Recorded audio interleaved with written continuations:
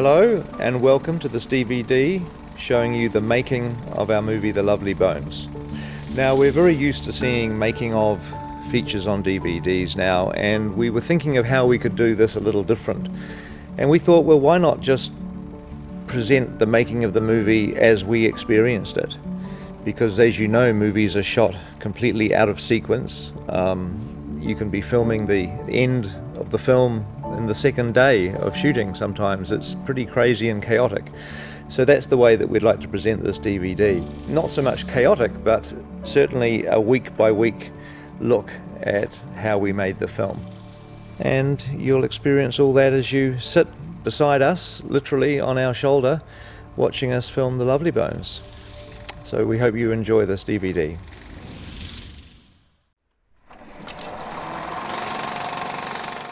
Our shoot began on Monday, October the 22nd, 2007. Now, we had a few weeks of summer, the very tail end of summer left, and fortunately, weather was kind to us, and so we were able to shoot um, in the Salmon Street. Seasons are very important in the movie because The Lovely Bones takes place over six or seven years, and we have scenes that are set in all four seasons. So we had actually planned our shoot to be able to take advantage of the end of summer, going into fall, going into winter, all of which was um, scenes that were being shot in the street uh, where Susie lives. So we began the shoot representing summer in the film. So one of the first scenes we shot was Susie saving Buckley. It's a very small element in the book. In fact, some people don't even remember it from the book. But it was a piece that Pete particularly liked, not just because she gets to drive a Mustang, but but also I think because um, it's got that incredible energy. I think he saw it immediately as a great way to start the movie. But we also wanted to really earn the line, uh, which in essence kicks the film off, which Grandma Lynn says to her in the hospital that she predicts that Susie will live a long and happy life because she saved her brother. Um, and Susie's great response, which is, as usual, Grandma Lynn was wrong.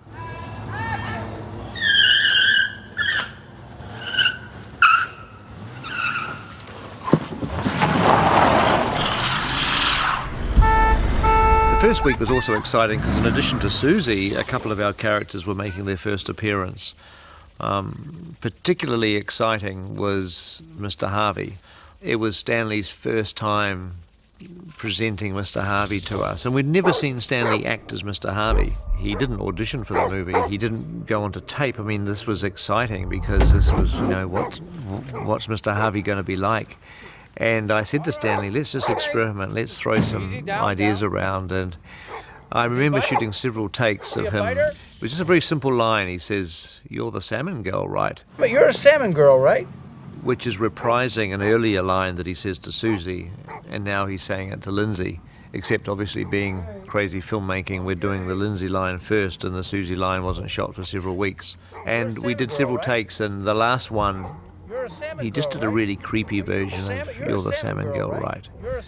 And that was the moment in time I remember that for me, Mr. Harvey really went click. You're a salmon girl, right?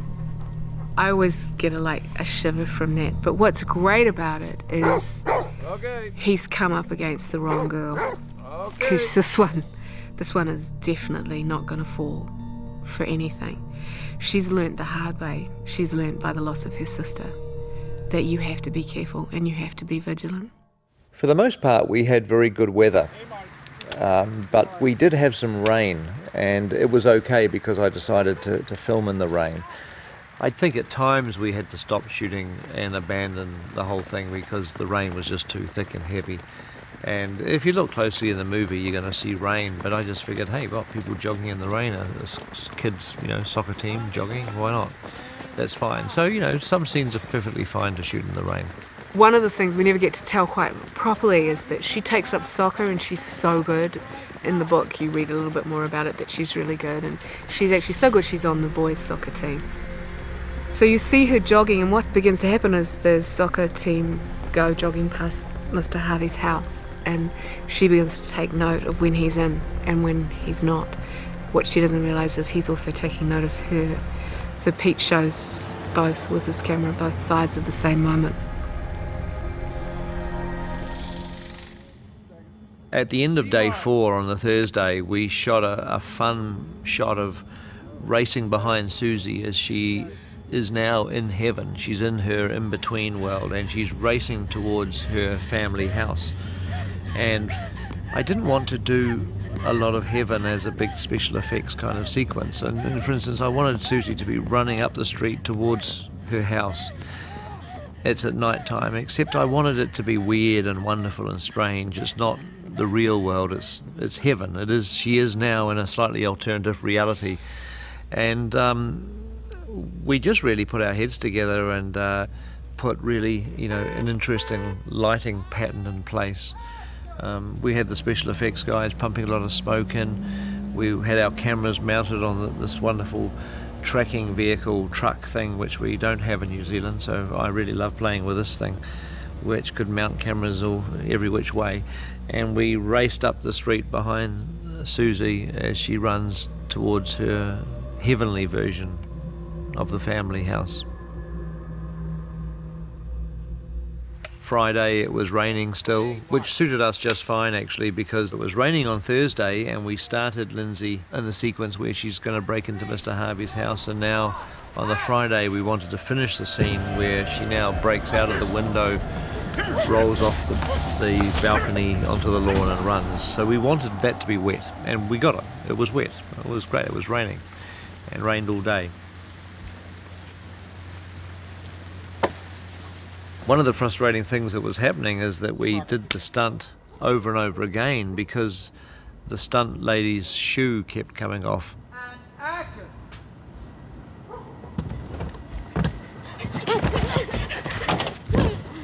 I mean, that's where filmmaking gets really frustrating. That if somebody's doing a stunt, you know, as soon as you get it right, let's just move on and don't make them do it over and over again. Except I found myself in the position of having to ask her to to fall off the balcony again and again and again because her goddamn shoe kept coming off. Uh, it was driving me a little bit crazy.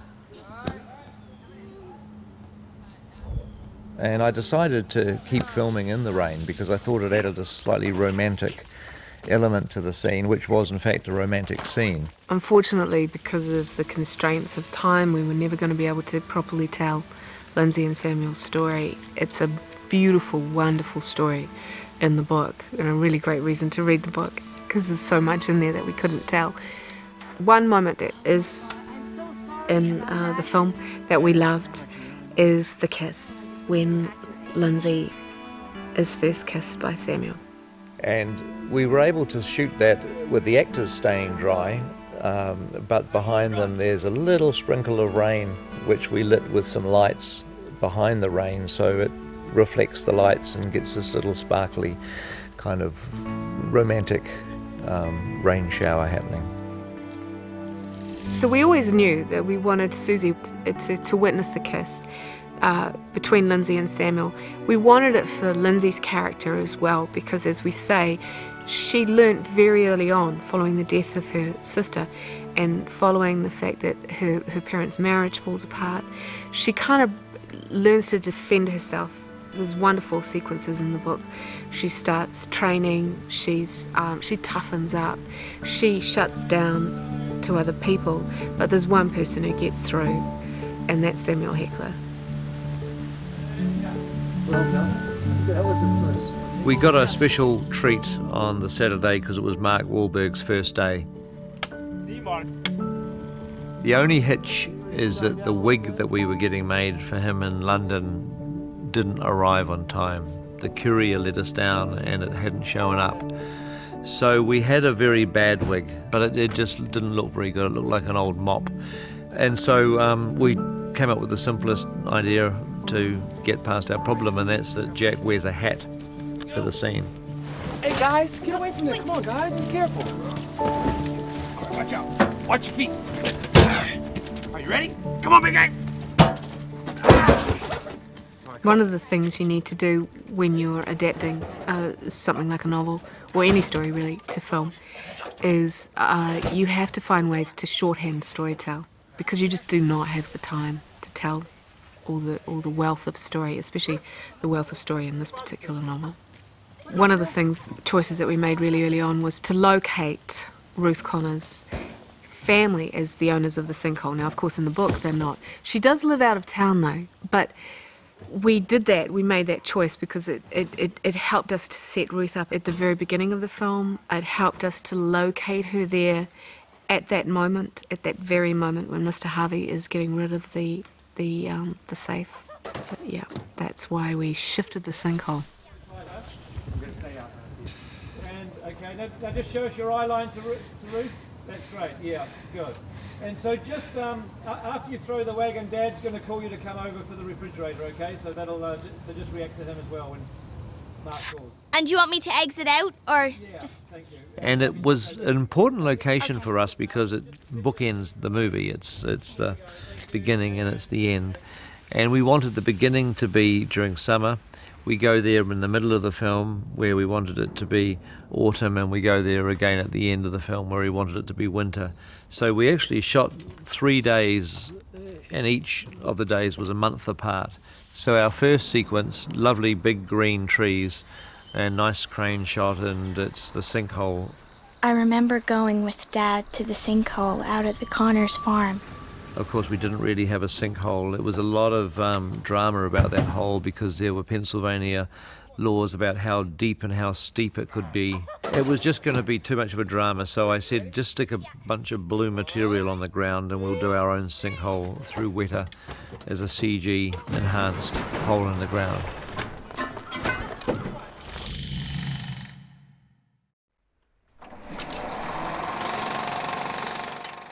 Our second week began with a day of location shooting at Valley Forge National Park. Hey, Mark. Valley Forge is a location that Alice references a couple of times in the book. So it was a great place for us to go shoot a few sequences in. One of the scenes actually outside George Washington's house ended up being deleted from the finished film. See on the pictures there, Amanda. All right. All right, hurry up, Joe. Hurry up, hurry up, hurry up. No talking, no talking. They all seem to be very excited about it. oh yeah, we've been we've been waiting for this. In the book, it says hunting ground. We shot a scene that we wrote where he comes across these school children who have have gone for a uh, historical trip to um, visit Valley Forge and see the reenactments of those times. Unfortunately, this scene didn't make it into the final cut, but it was quite a nice scene of Mr. Harvey interacting with a school teacher she's like an old spinstery type, and she gets very charmed by Mr. Harvey. Mainly history. I do teach other subjects as well, but history is my favorite. Mm-hmm. I love coming here. It's so beautiful. It is beautiful. Yeah. Yeah. yeah. And I saw that George Washington. Yes. Uh, over there. yes, he is over there. He's going to Right. tell the kids all about, uh, you know, the the headquarters and everything. Now he's a, he's a, he's a, he's a reenactor. Uh, He's not the real George Washington. no, no, no, I'm kidding. no, not at all. I'm kidding. All the while that he's talking with her, he's imagining her dead, throttled in his basement. So, so just ch- bring your chin down slightly, and Stanley, just bring your, your elbows up. And slightly, as it was, we okay. just haven't been able to get that into our final cut of the film. But uh, it was a nice day of shooting out in Valley Forge. A couple of the locations we used there under an underpass and another jogging scene of Lindsay going past the cannons made it into the final cut. My murderer had finely tuned instincts. He knew my sister had begun to wonder. We find ourselves in the Salmon House for the first time. This is our very first day of shooting inside the studio. And on our first day there, we were shooting Susie taking photos of herself on her bed um, with her Instamatic camera.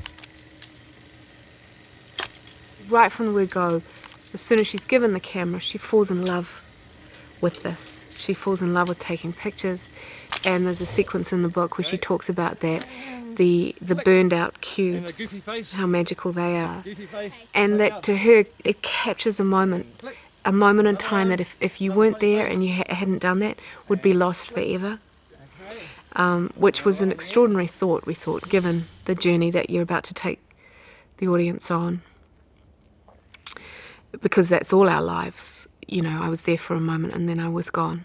And that was a fun day. I was sort of playing around with Saoirse, trying to find some fun stuff of, of her taking pictures. Give me something to laugh up here. and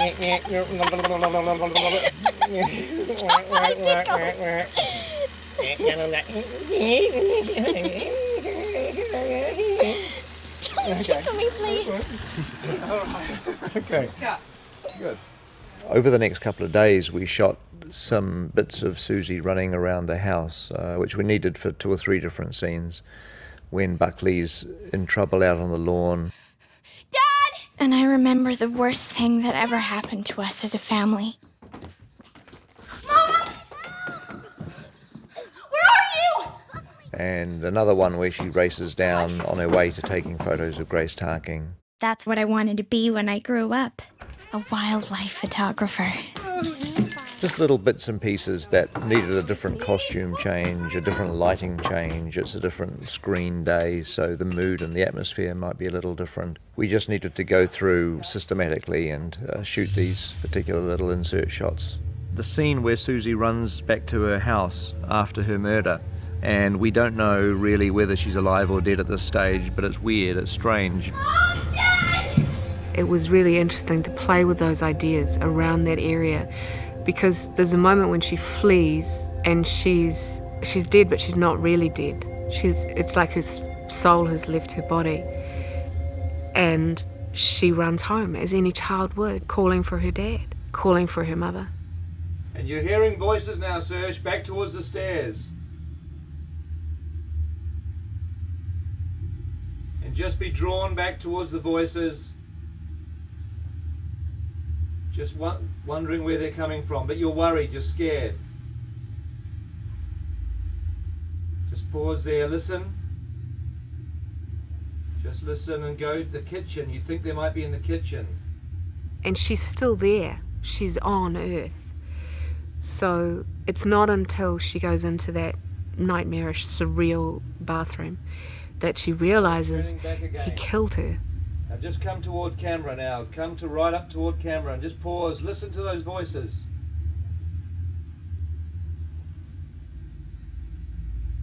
It's creepy. Now you're going to go up the stairs. Now start hurrying.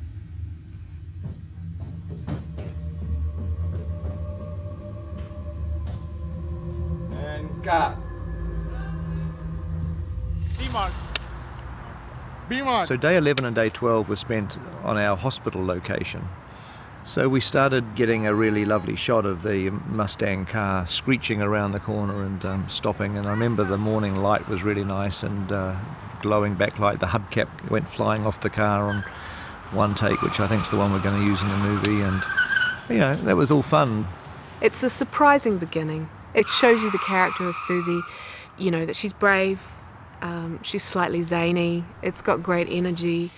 Um, it's also a moment that was terrifying for the parents. And again, we took something that was really uh, a memory of Buckley's. Buckley in the book remembers the light in his parents' eyes, but we've given that to Susie.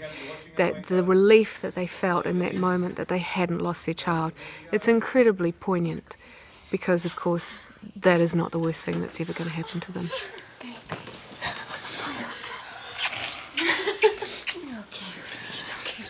He's fine. But he's scared. He's scared us, honey. Does your throat hurt, honey? Sit. Miss Susie. Why'd you look so sad? You did a great thing. You know what that means, don't you?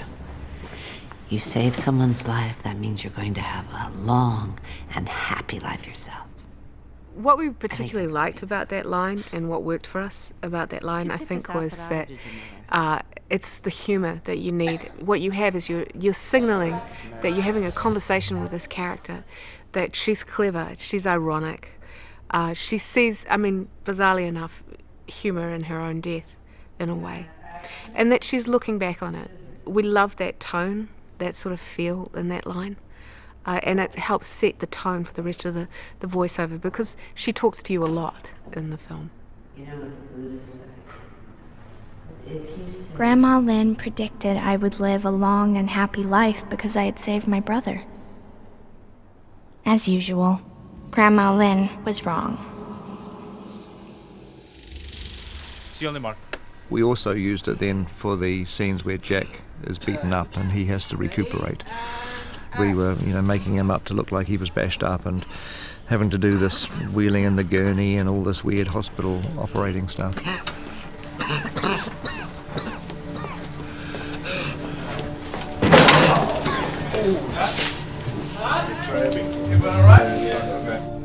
The operating scenes were done with the consultation of a couple of real surgeons, um, people that could advise us on what to do.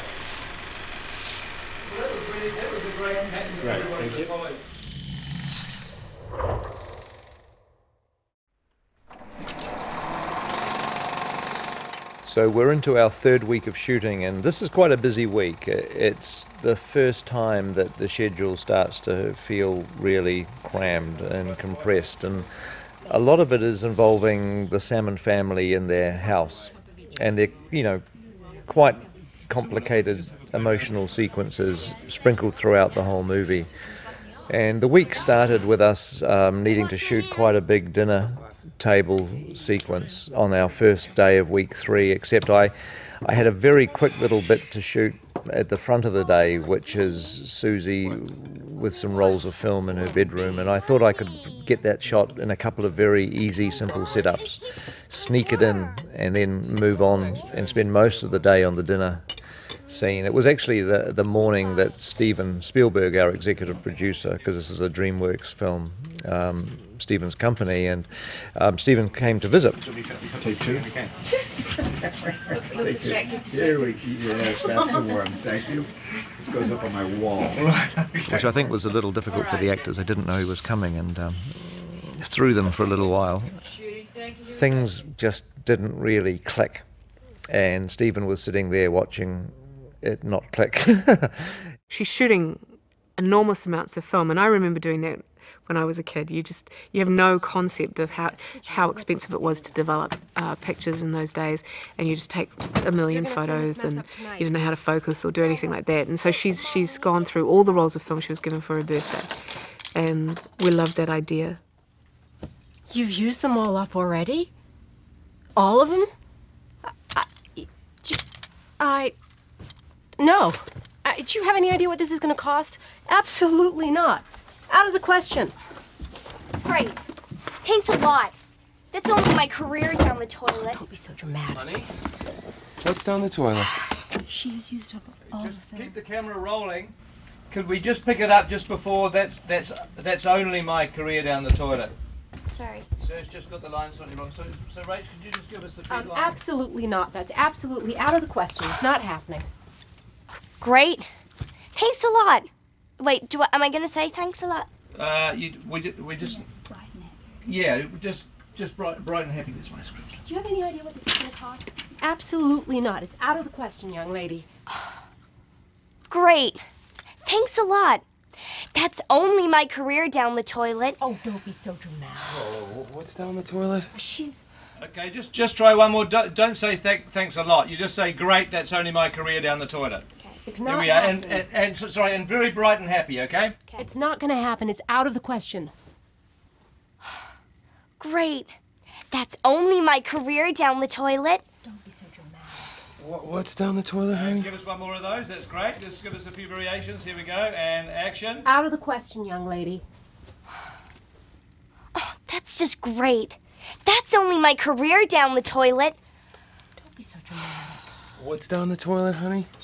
She's gonna use all the film we gave her for her birthday. No. Yes. All of it? All of it. Susie. It's a crime to be creative in this family. All right, all right, we got. Cut. That's great. Good. Make sure you cut this shit out now. I'm fucking right I don't think we're being unfair. No. Day 14 is more family chaos. It's breakfast this time. It's when Susie leaves to go to school. Oh, Please, could you just not do that at breakfast? Whatever you say, honey. I wanted to get a little bit of comedy with Buckley and porridge and concrete mixer and things, so we sort of had a go at doing that. No need to call your brother a moron. Hey, buddy. Buddy, the cement stays in the bowl. It's not cement. It's my Odie's. okay, well then the Odie's go in the bowl or the belly, buddy. That's it. This is like a bowl in a belly. Okay, girls, come on now. You're gonna be late. School. I have Hats, Bye, gloves, Mom. coats. Bye, Dad. Good. Bye, Susie Q. Buddy, buddy, come on.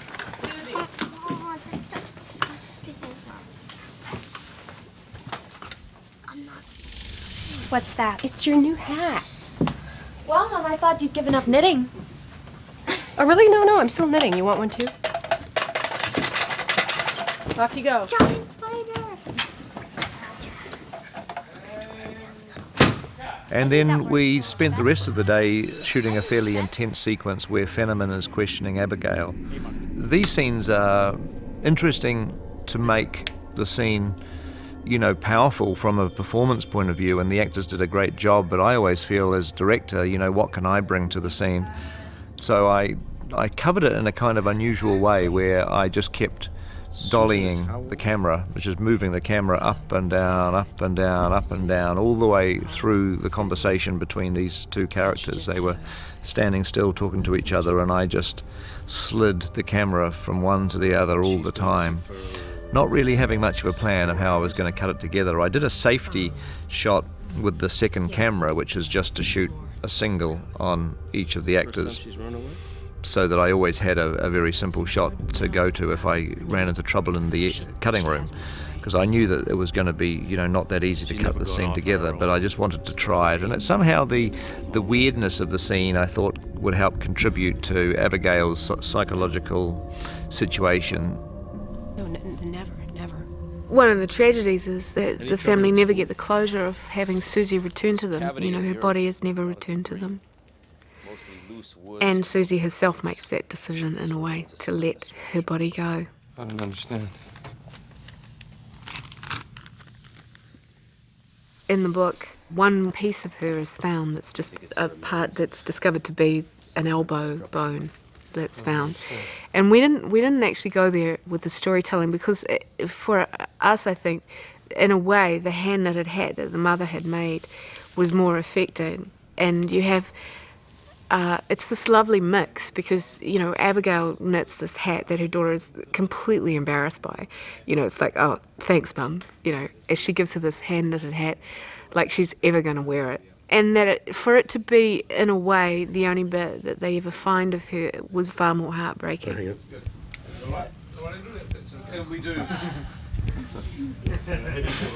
So we shift out of our studio and we travelled to the school. We had to shoot there on days where the, there weren't any kids because it's a real school, it's not an empty school. So we shot on a, um, a Saturday, but it was a, a great location. The school looked absolutely perfect for that period of time. That's Good, you're good. And background. And action.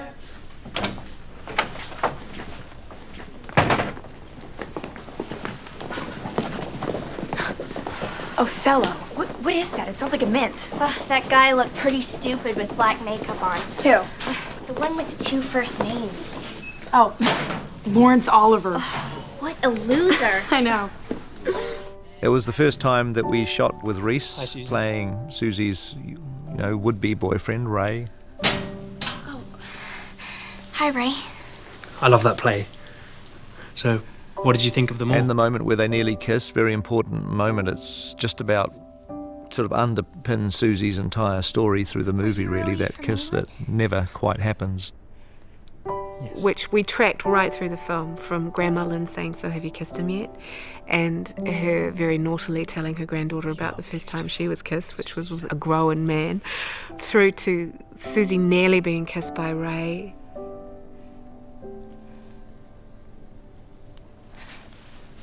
It was excellent. One more for luck. Last one for luck. It was that was great, guys. That was fantastic, Reece. Okay, here we go. Just one more for luck and we'll be done. And action.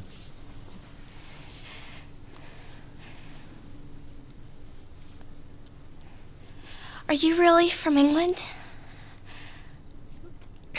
Yes.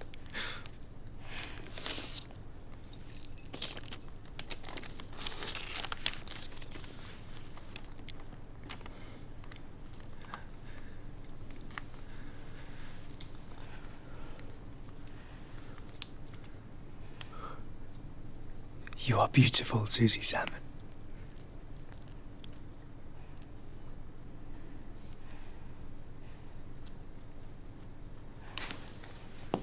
Cut. Cut, thank you. All right. Excellent oh, work, team.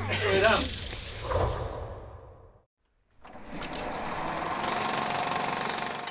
You are beautiful, Susie Salmon.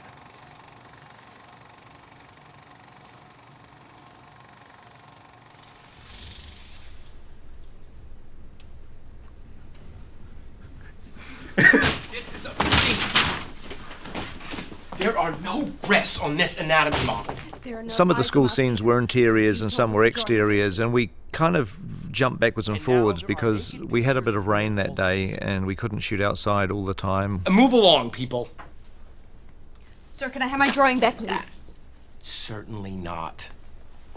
We had to also watch what the light was doing because we wanted to get something uh, late in the day, a sense of the sun just going down when Susie leaves and she walks across the fields.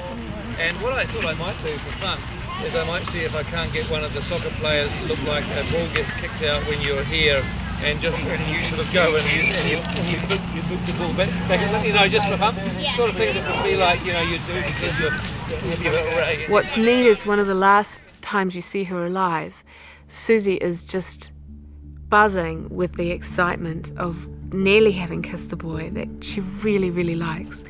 And and looking forward to that moment. She's got this date with him. It's her first date.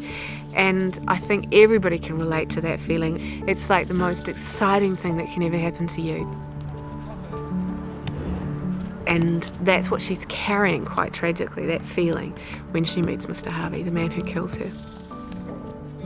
By the time we got to day 20, we were outside the school buildings now and on the cornfield, which was amazingly enough, this cornfield was right next door to the school, exactly as it's described in Alice's book. So it was a great location from that point of view.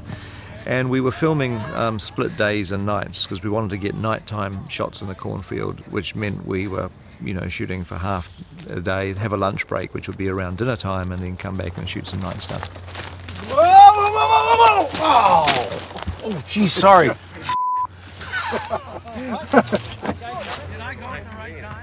This is also the day that we filmed the second half of You're the Salmon Girl, right? Which Mr. Harvey says to Susie. It's actually the first time we hear it in the movie when he confronts her on the cornfield. And we'd already shot Lindsay's version of it earlier in the shoot, and now we're shooting Susie's.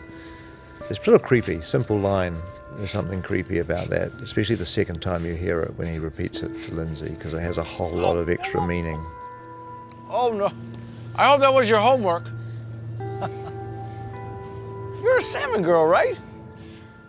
Oh, oh, oh, no, no, no, no, no, no. There it goes. See you later. was that your homework? Can we start again? Fran and I talked about this quite a bit, which is why does she do this? But she does, and why does she do it? And there's a number of reasons. And one of the things that he preys on, and Stanley did this brilliantly, and Saoirse played off it brilliantly too, it's politeness. He invokes her parents. How are your folks? Say hi to them for me. Greenhouse. Mr. Harvey. Hi. Hi, how are you? How are your folks doing? Fine. Good. Well, tell them I said hi. You know, you're the perfect person for me to run into now because I just built this thing over here and I want to get a second opinion. Do you mind taking a look? Oh, I'm I'm sorry, Mr. Harvey, but I have to get home. Oh, okay. Oh, well. I'm not going to pretend that I'm not disappointed. All right. It's just I'm really late already. Oh no, it's all right. I just I just worked for hours and hours and hours on this thing, and I just wanted to someone to look at it. But it's all right. It's no, it's no, it's no big deal. And this is an adult, and he's a neighbour, and she's been told to be polite. And he preys on that politeness because that does happen to children. They don't know how to say, listen, no, I said no, I'm not doing this. And then the other thing he preys on is her curiosity that she wants to see what's down there. You know, it's the natural curiosity. You know, you're the perfect person for me to run into here. I just built this thing over here, and I, I wanted to get a second opinion. Do you mind taking a look? Um, I'm I'm sorry, Mr. Harvey, but I have to get home. Oh, okay. Oh well. I won't pretend I'm not disappointed. It's just I'm I'm really late already. No, no, it's okay. I just worked for hours and hours on this thing. I want to get somebody to look at it, but it's all right. Uh, I'm going to show the other kids in the neighborhood. They're going to be very excited about it. Really? Oh, yeah. Come on, it'll take a couple of minutes.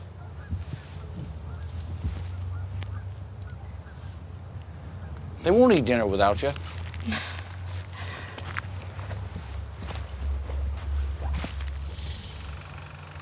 See, Mark.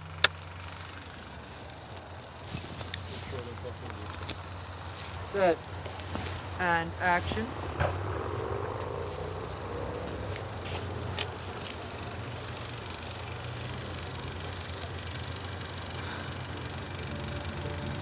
What is it?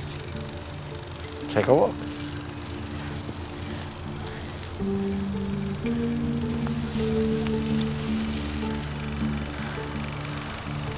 Pretty neat, huh? I built it as a clubhouse for some of the kids in the neighborhood. You know, they could use it like a clubhouse or something. So then you have that moment, the counterpoint of that, of course, is Susie when she's in the grip of her anger and hatred is she has this huge well inside of her where she says she blames herself and she says i was stupid. I was so stupid. Um, and that's another part of, of the, the anger that she carries with her into you know past her death into this in-between world. What do you think? You want to be the first one to try it out? Re- really? Oh, go ahead. Go ahead, be the first. You be the first member. Just go slow on the on the ladder. Careful. Looking around. That's it. Good. That's it. Go slow. Look back towards the camera. over here. Yep. Keep looking. It was neat, huh? It was neat. Isn't that neat? Hmm?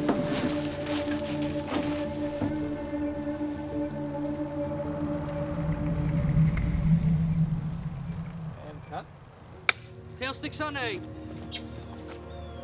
Day 21, and we're continuing our shooting on the cornfield. Secure that cordon. Tape off the rest of the area before the whole neighborhood shows up. Set up the ICP at the school. Put the coroner on standby. We don't have a body. We don't know what we have.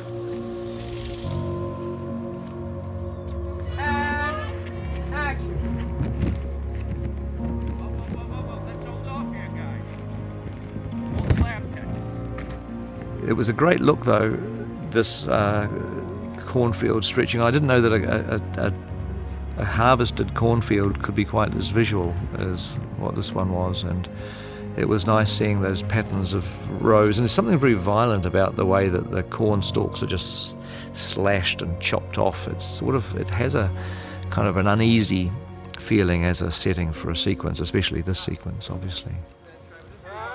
Rolling. Someone get down to the road and stop cars coming up here. 35, take one. Rolling. B mark. Tail on C. action! We finished off the cornfield location, um, actually shooting away from the cornfield. Uh, it was a, a, a road that runs down the side of the cornfield where Ruth is coming home, having just crossed the cornfield, and Susie races past her. Um, Ruth doesn't really realize it at the time, but this is actually just after Susie's been murdered, and it's the beginning of the, the psychic connection that happens between these two characters.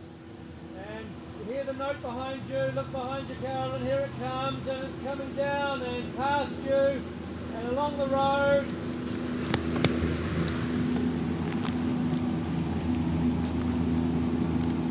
And reading it, holding it up, looking at it. Sensation. And behind you.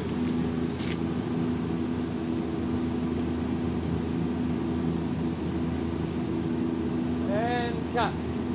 Okay, that's good. We wanted to play with the idea that Susie flees from this horror so that when she's in the in between, when she finds herself in this in between state between heaven and earth, there's something she'd never really faced, and there's something that she'd never really understood or known. So, this is a change that we made from the book. And I think it was Fran who came up with the idea that she escapes and it's an extraordinary moment. And what triggered that was a, a, a, piece in the book that both her and I really loved, where Susie talks about um, in the violence of that moment, she fled. It's as she talks about the fact that people often do that, that, that, that it's the getting away, that your soul leaves your body, almost suggesting that it leaves your body before you're actually dead. It goes somewhere else and it runs. She she said she she holds she held on to death like a rope that was pulling her away from life, but it was saving her too, in a way, because uh, it was pulling her away from the horror of what was happening to her. So we took that notion.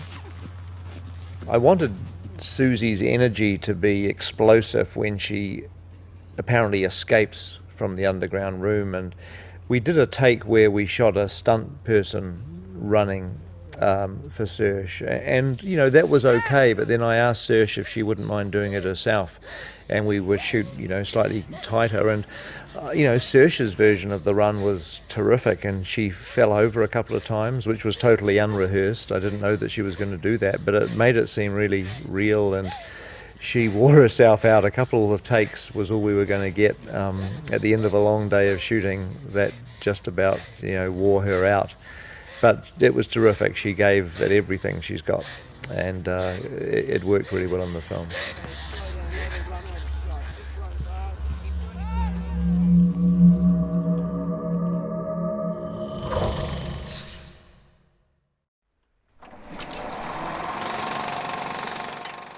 For week five, we moved away from the muddy cornfield and returned to our favourite location, the Salmon Street. That's cornfield mud, by the way. cornfield mud. Day 24 started with us shooting a flashback scene. It's a little memory that is returned to two or three times in the movie. This is scene 11, so it's a scene in the movie before we really want to see Stanley's face. Um, and we talk. We, we know that Susie's been murdered. We don't know who by yet. And Susie's voiceover says, "My murderer was a man from our neighbourhood. My mother liked his border flowers, and my father talked to him once about fertilizer. My murderer believed in old-fashioned things like eggshells and coffee grounds, which he said his own mother had used in her garden. So." What I thought we would do, we've got a camera on a very long lens, and, and if we basically have Stanley trimming with some clippers just sort of working and, uh, and working on, on his camellia bushes. And if we had Abigail and Jack out for a walk coming in this direction back up towards their home, and what we, um, a couple of things is that later on we, we realised that Mr. Harvey, the whole time he was in theory talking to Abigail and Jack, he was really just focusing on Susie the whole time, looking at her, watching her, and he re relives those moments we showed. We've got another camera here that's going to be filming Saoirse on a long lens, which is just going to be like what Mr. Harvey's going to be replaying in his mind. Images of her, the bike, the bell, her feet on the pedals, her face laughing, the dog. It's just going to be fleeting glimpses of what's going on into his brain. We particularly just played with the idea. We liked the fact that he, he, he ruins the shot. She was aiming for something completely different and inadvertently took a photo of the man who ends up being her killer. My murderer was a man from our neighborhood. Just admiring your I took his photo once as he talked to my parents about his border flowers. I was aiming for the bushes when he got in the way. Thanks for the flower. He stepped out of nowhere and ruined the shot. Okay, Stanley, turn. He ruined a lot of things. And cut. How cold is it? It's very cold. I think it's two degrees. I checked online and it said Paoli was two degrees. That's two degrees degrees. Celsius, so I don't know what that is in this in this lane. No, that's that's like 32 degrees Fahrenheit. It was starting to get very, very cold in Pennsylvania, more cold than what I ever imagined it would actually. I, I thought I was aware of what cold was coming from New Zealand, but uh, no. It actually started to um, rain in the middle of it as well, and uh, in the movie, if you know where to look, you can see some raindrops falling. Um, we couldn't get rid of those. And also, there's breath coming out of the actors' mouths at times too, which uh, you know we're trying to cut our way around that in the editing of the film, but um, it's a hard thing to hide. Hey, honey. Well, just a minute. Just a minute, sweetie. Careful, honey. Careful.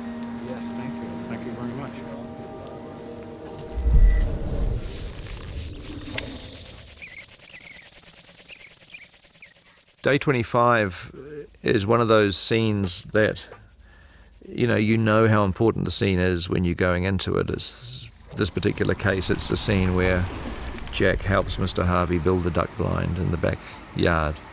We didn't get the whole scene shot this day, we spread it over a couple of days, but um, we started it by shooting the scene out the front where Jack pulls up in the car and gets out and is very stressed, he's very tense, he, he's confused, he's grieving, all this stuff's going on, and he's sort of really derailing to some degree. And action.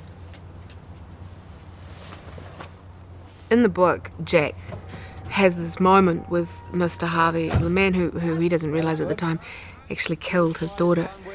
And he's working on a project, and in the book, it's a bridal tent. But we changed that. Uh, there was a number of reasons why we did this. One of the things, the first things we did is we moved Jack's understanding of who the person was who killed his daughter to way later in the movie. And the very specific reason for that was to hold the tension. And then, Mark, you can see the half-built duck blind. The reason it's not a bridal tent is because in the book it's a whim. In the film, it has a very specific purpose, and, and you really do need that in the narrative. You need people to understand that someone is in danger, and we decided that it had to be Lindsay, and it has to be Lindsay because she's getting too close. And we chose a duck blind because we wanted a very practical structure. He's about concealment, he's about passing himself off and not being noticed. So we shifted it to the backyard, we made it a duck blind, and we gave him a target. And those were the reasons that we did that, that particular change. What is that? Oh, it's just a little project I'm working on. You a hunter? Uh, ducks. It's a blind, right? Yeah. So those things really work? Oh, yeah. It's all about concealment. The art of concealment and patience. You know, it takes a lot of patience to sit for hours on end in the dark. But I love the outdoors.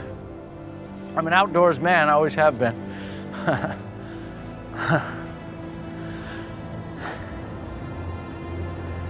Mr. Salmon.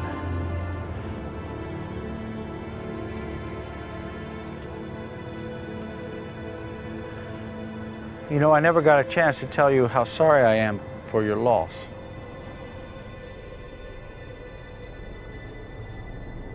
Thanks.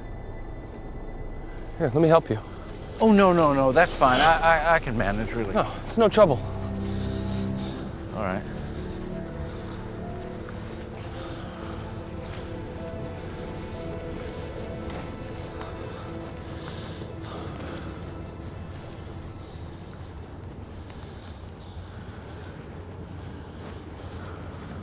Yeah, that was cool. And sticks. That's good. We're one more. That was, that that was good. Standing that pace worked better. You Take three, little bit one faster. thirty-nine, George. You wanted to. That was take three. The next day's one of those days where you look at the call sheet and you do get a, a tightening knot in your stomach. It's, you know, a call sheet is a bit of paper that lays out what you need to shoot that day, scene by scene. And, you know, you can glance at it and know that this is a, a big full packed day. And it's very important to try to shoot the call sheet, to try to get the day shot.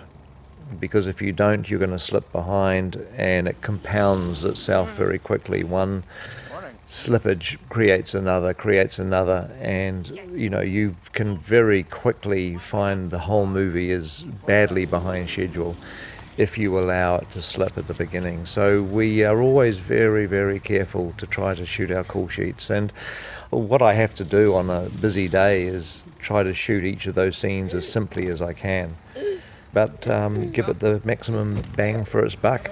Big bump. A big bump. And another big bump. And just roll your eyes up, up in your head, Christian. So open your eyes a little bit, but, but roll them up inside your head. And gasp, gasp. Try to breathe hard. Try to breathe. Just come back. It's actually it's actually funnier if we track if we track far enough that we get the edge of the garage in, and we see Stanley disappear, and you guys just just hold on, on the cops walking walking around heading towards Stanley's house next. You know, so When he killed Susie, he did something he doesn't usually do, which is kill close to home. And he took a real risk in doing that. Now, if at any time you remember some details from that night, And unfortunately, we that again was part of the storytelling that we didn't manage to end up in the film. But although it sort of is, it is there. He he is aware that he has taken this risk because they do come and question the neighbours. That is something that happens. But he quite quickly begins to relax because he knows and understands that this this event, which becomes such a horror and electrifies the entire neighbourhood, will fade. That people want to forget, that they want to move on.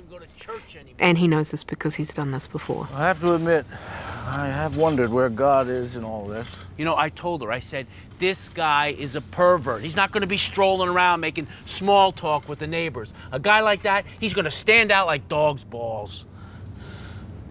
If only there were more minds like yours in law enforcement. Yeah, you let me have that creep for five minutes, I'll shove that rake up his ass and I'll rotate it 33 and a third revolutions per minute.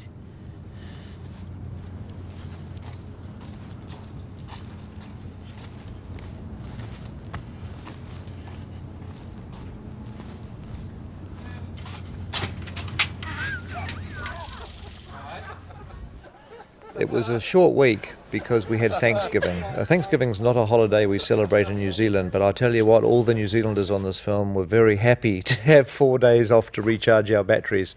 So we uh, we were very pleased to celebrate Thanksgiving this particular year.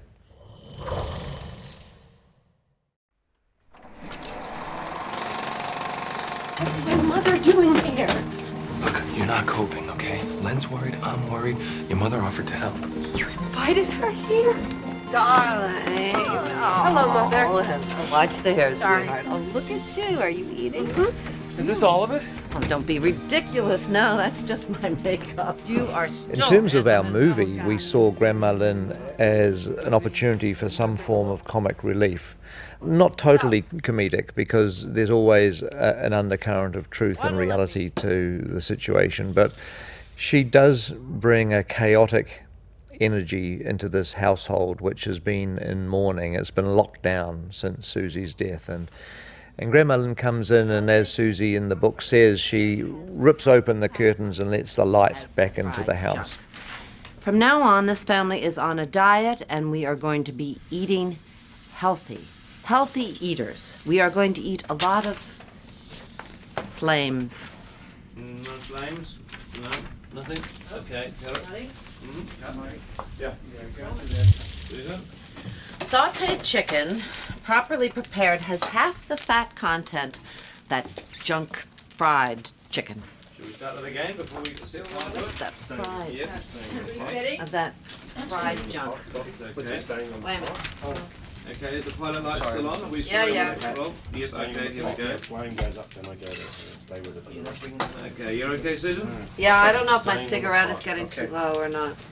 We had a lot of fun dreaming up comedic things for Grandma Lynn to do, and we just would roll and shoot long, lengthy takes of Susan largely improvising, you know, fun, comedic kind of things to do, and we took the best of those and chopped them into a little montage. Sauteed chicken, properly prepared, has half the fat content of that fried junk. His entire family is going on a diet, and from now on we are going to be healthy shit.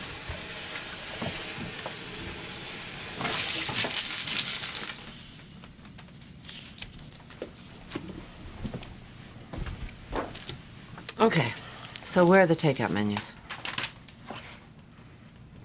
Grandma Lynn was an opportunity to break all the conventions of, you know, not being allowed to drink alcohol, not being allowed to smoke, all that stuff. She breaks every rule under the sun, drinking and smoking at the same time. Greasy hair is just another word for ugly. Here we go. Oops. Sorry. Oh, That's it. That's the girl. Here we go. Oh, sorry. Almost. There. It's the yolk is most Oh. important. If you can't get placenta, yolk. There we go. Oh, you're gonna be gorgeous. do you think Samuel's gonna like this? Absolutely, I wouldn't risk my nails for nothing, darling. Here we go. Oops, one more. Perfect. The shells help sometimes too. How Protein, effective Grandma Lynn is is going to depend almost 100% on the actor that comes into those, fills those shoes. And we couldn't have wished for anyone better than um, Susan Sarandon to play that role.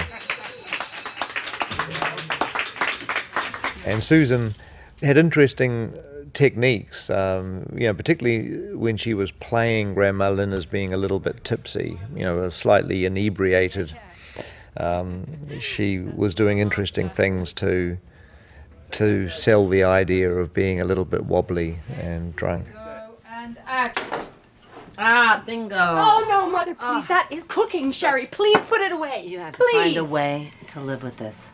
Mother, I am living with this. I am living with this every day. No, I you won't go into. Susie's room. So? You won't let anyone. And I touch her remember reading You accounts where parents who've gone through this, women in particular, say that you don't understand that you lose your child so completely and so utterly because they don't just take their life, they take all the memories of them because you can't think of your child without thinking of this horror, without thinking of them cold and dead on a slab in a mortuary.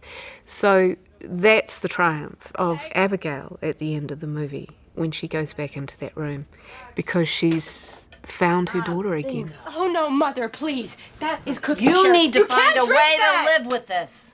Live with it?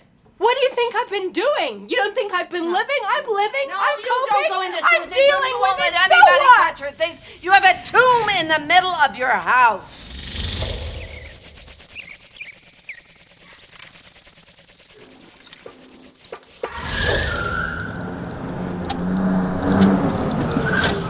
Day 29 was fun. It was the beginning of our Royersford block of shooting, which was a little town that we basically thought was the town centre where the salmons live.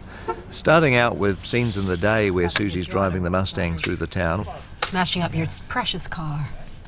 Beat her when I get home. And action.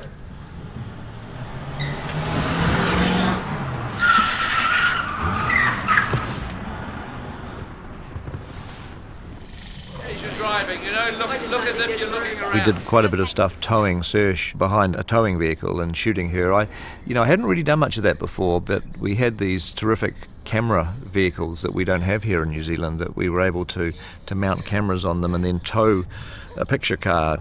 It was a great way to do it. We didn't need to do any tricks like rear screen projection or blue screens or anything else. We actually had Saoirse, you know, zipping around the corners doing it for real, except she was not having to steer, she was being towed. Also had a stunt driver who was dressed up as Susie Salmon.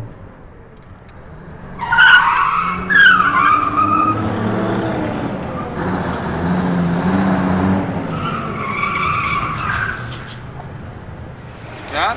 Cut that. Well, it was worth filming? That one I get finished. That was. That was, That was- I was a that bit worried about the truck there for a minute, but- I thought there was people on the side. Yeah, I guess so. It's worth rolling on. We got through a lot of stuff that day. I remember the morning, you know, we did a lot of driving gags. Normally that goes quite slowly, but we were able to get through the bit that we wanted to do pretty efficiently and quite quickly. And then moving into the night time, we had to create the heaven look that we'd established in the salmon house with that blue, whitish blue lighting. You know, trying to create this look of a, a heavenly, weird sort of netherworld halfway between the living and the dead.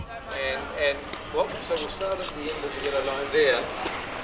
And we'll, we'll, we'll run up to here to stop. Run, run up, run up to the white.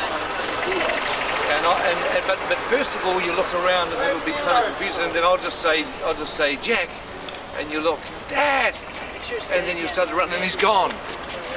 And then, and you'll, Dad, Dad, and then you'll start to run forward again, Dad. No.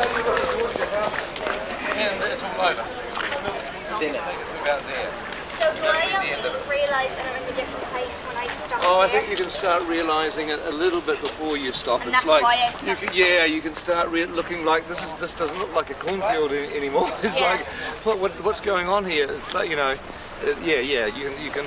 So the cornfield can be the first few seconds, and then you can start to realise that you're in a place where you're still just as scared. I mean, because you still think that Mr. Harvey could be pursu- pursuing you, but, but you're in a um, different spot. So cut, come down a little.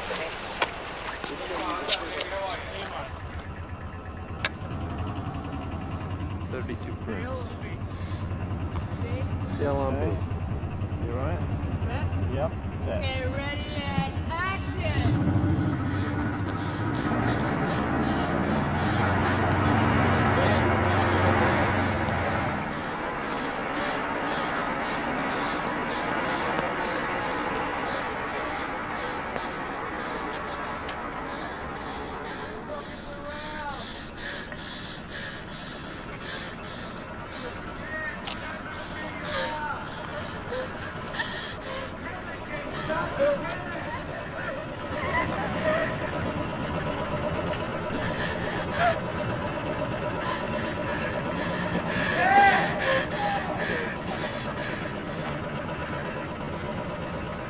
Dad! Dad!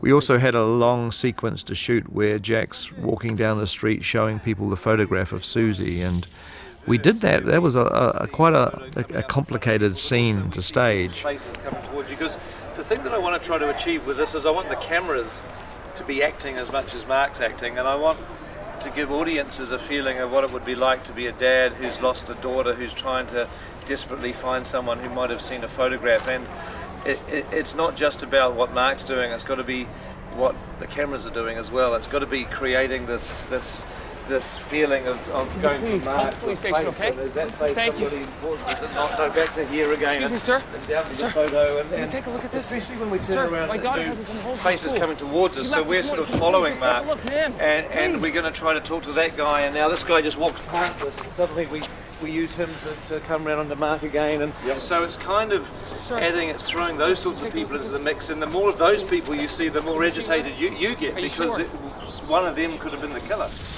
You haven't seen her, are you sure? Are you positive?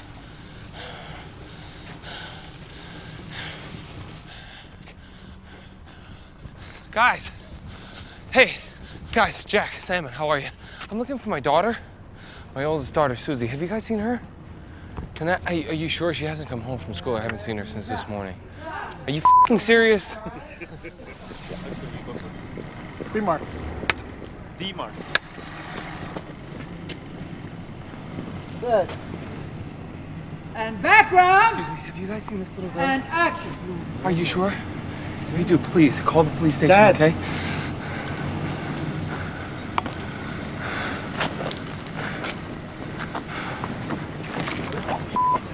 Cut. I dropped the thing down the drain. oh my god. We done this with the Sorry, Peter. And the end of that week, day 31, we're um, in a completely different location, a one off diner for a scene very close to the end of the movie now, which is a scene that basically shows us Mr. Harvey's ultimate fate in the film. We wanted the classic American diner, which, you know, it's not that easy to find them. So we wanted it to be very cold, and we got that very wintry. We wanted snow, and we didn't quite get snow. Snow's coming to our film set very soon, but it hadn't arrived quite yet, so we had to fake the snow, you know, make it look like it was snowing. But uh, boy, oh boy, it was so cold, it was very close to being the real thing. Cold out tonight.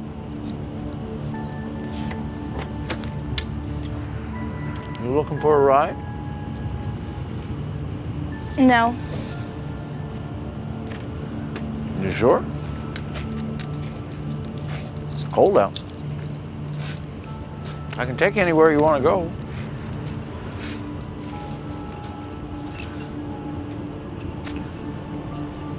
Wanna? Look, whatever you think you're doing, it's not working, okay? I'm not interested. Well, what am I doing? I'm just trying to be polite. That's all. Piss off, creep.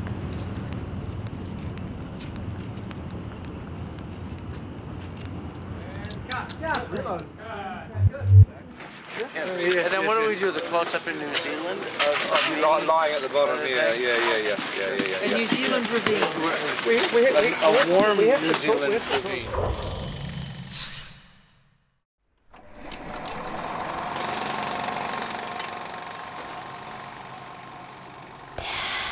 The beginning of week seven, day 32, and we're back in Mr. Harvey's garden again. And now we're shooting the second half of the critical scene with Jack helping to build the duck blind. We had a real issue on this day with the wind.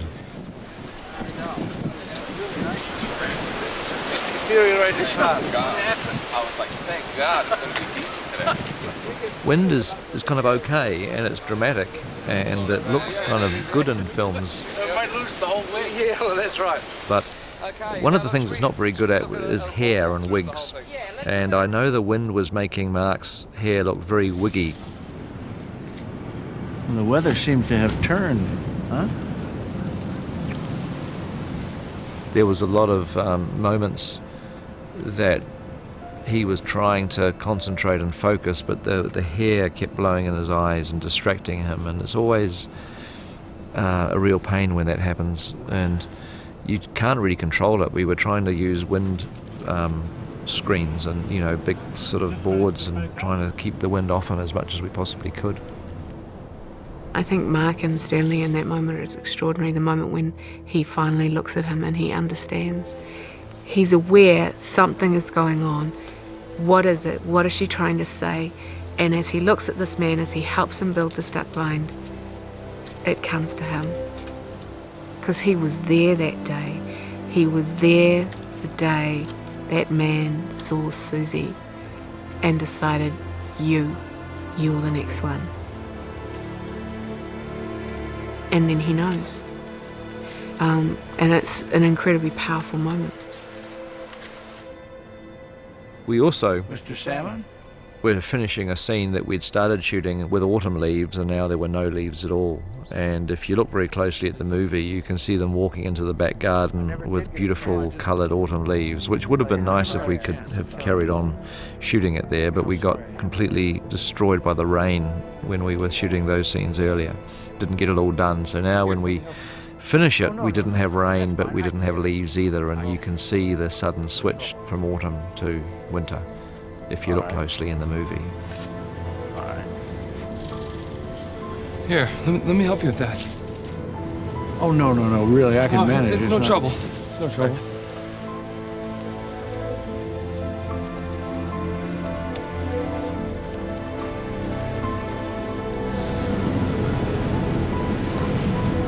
It's time for you to go home now, Mr. Salmon.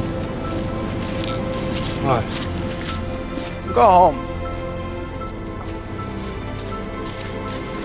Why? Oh. I can't. I got him! Ah! Movie's over. I locked myself out of the house. What did you do to my daughter? Tell me! Where is she?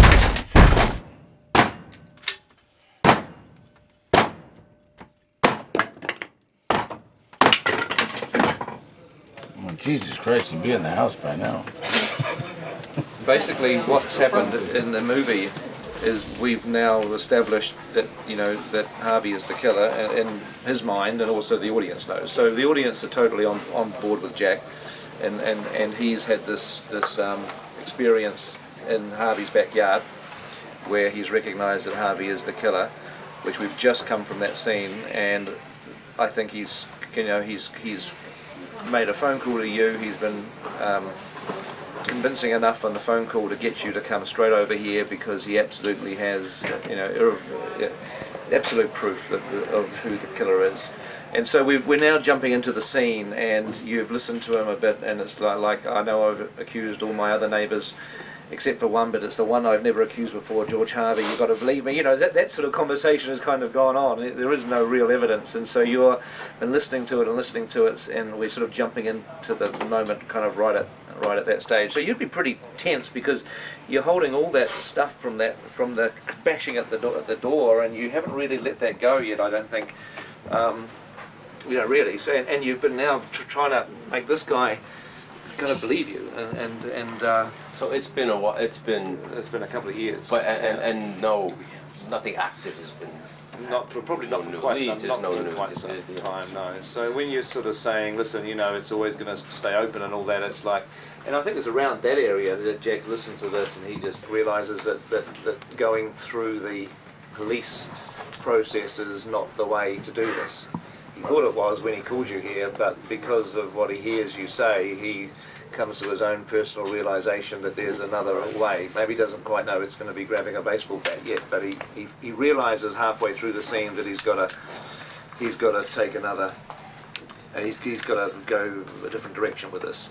That's not not going to involve the police. And then at that point, you know, the, the fun of the scene obviously is Jack kind of, you know, says, "Hey, I got to apologise. You're a great guy, Len." And, that, and that's when you. So, so I think the more frustrated you are, the more fun you can have with the kind of being totally disarmed by this strange behaviour, which you don't believe it for a minute, but you don't quite know where it's coming from. Your father put a hole in the man's back door. Yeah, well, he should have put a hole in his head. Lindsay, please. Did you hear that? You see the example you're setting for your kids? Persecuting the neighbors.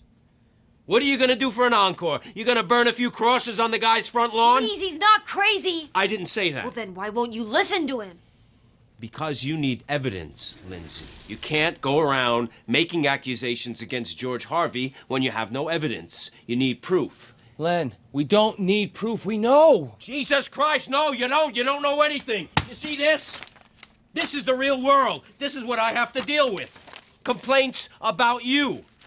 Invasion of privacy, trespass, loitering with intent, improper use of a garden hose. Who cares? Who cares about any of that? Jesus Christ, no, you don't. You don't know anything. You see this? This is the real world. This is what I have to deal with. Complaints about you. Invasion of privacy, trespass, loitering with intent, assault with a garden hose, improper use of the postal service. Who cares? Who cares about any of that? It has been three years, three years of waiting for answers. Where is she? What happened to my sister? What did he do with her body? Why don't you just admit it? Look, you stopped looking for her a long time ago. As long as Susie's case is unsolved, it'll remain open. You are pathetic, even for a cop. He's right. Len's right. It's time to put it behind us. It's gone on for too long. A lot of people have been hurt. It has to stop. Dad? Things will take their natural course, Lindsay. Len, I appreciate everything you've done. You've been a great friend to me. goes for Abigail, too. Great friend to both of us. You don't need to worry.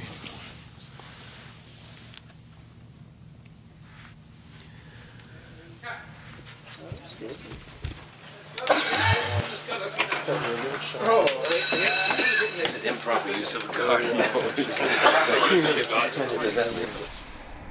So on day 35, we look outside and we find out that it has snowed. In fact, it snowed all day while we were in the studio.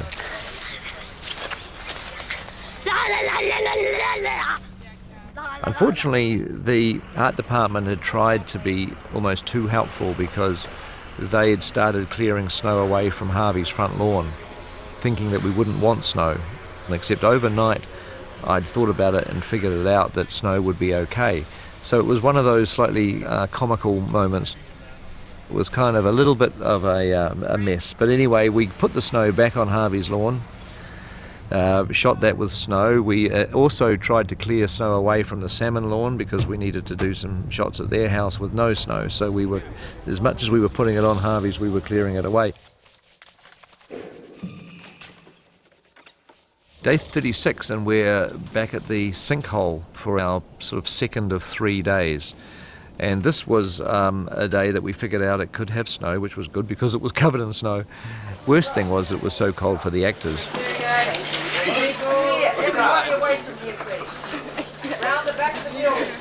The shoot started out so well. It was a, a late burst of summer, and we thought we were, you know, going to get away with this and get away with it just great. But once it started snowing, we were literally stuffed, like just could not do anything.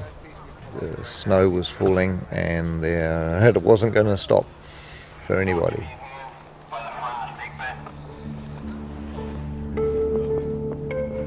Our last day at the sinkhole, and I would have been very happy for the snow to have stayed actually, because I was getting used to it, and I thought that our last day where Harvey pushes the safe into the sinkhole, we'd already established snow outside his house, which we, you know, shot that when Fenerman pulls up and goes inside. So I was hoping we'd have snow, but it was apparent that it was going to be melting very fast. Um, and we started shooting in the morning, and, and all the way through the day, it was melting, melting, melting. And we were in danger actually of, by the time we got to the last few shots in the day, of which some of them were wide shots, we were going to have virtually no snow left, uh, which wasn't going to be good at all because we had a scene then that was shot partly in the snow and partly not, which is the worst of all worlds, really. So, as the snow was melting during the day, we were putting cotton wool over things, we were putting white blankets down, we were doing whatever we could as it was thawing out and melting to try to keep it in place um, and fighting the thaw. Uh, as much as we could. Got some good shots though, good shots of the safe rolling along and being pushed into the hole. And, uh, you know, it was uh, the mud and the snow and the slushiness was really, you know, very helpful for that scene. Worked out much better than if it was shot on a bright sunny day, for instance. I got it, I got it, sorry. I got it, good. Okay.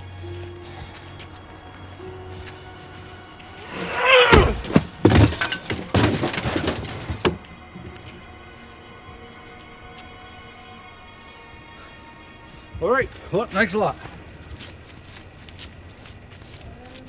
Up.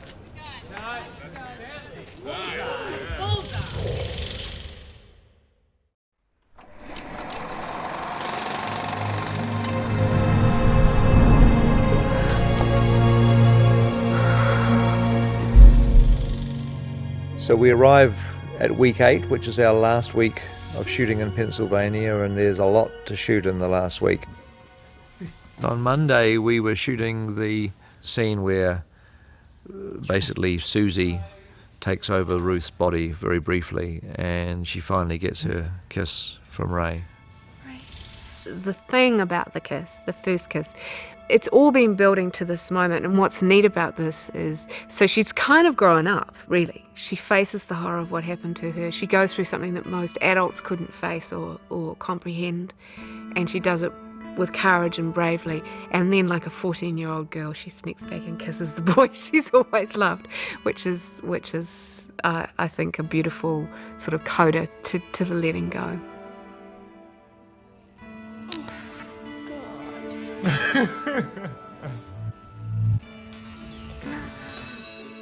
The big thing this week is to shoot the shopping mall.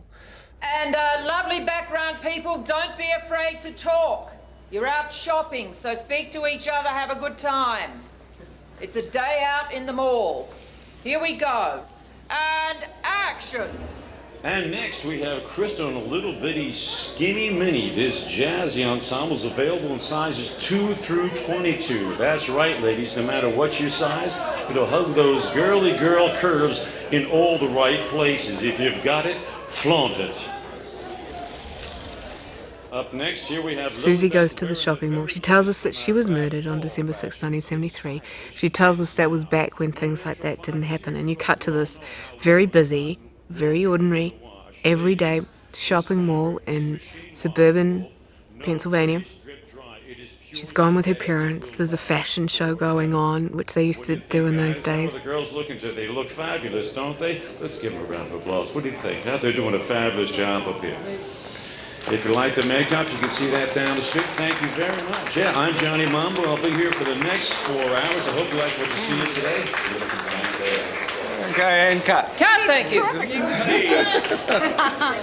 so, So you have this setting, you have this busy mall, and if you're really observant, you can see that Mr. Harvey's in the shopping mall.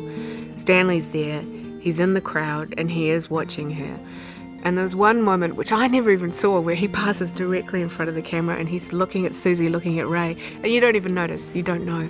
But he's there, and it does tell you how easy it is for these men to operate. These men who can be invisible. Had a lot of extras. I think there were 200 extras uh, dressed up in 1970s clothing. It's actually quite difficult dealing with 200 people because it's a lot of organisation and everything can go perfectly. But if you have one extra that turns and looks at the camera or does something silly, distracting, then the whole thing's ruined. Oh, I've seen you. I've seen you in the movies. This guy. Oh.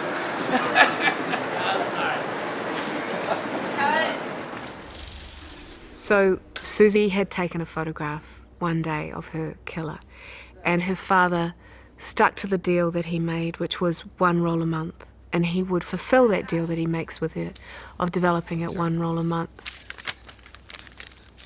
It's not something her mother understands why he is doing this. For her, it's better to just do it, just develop them all, get it over and done with.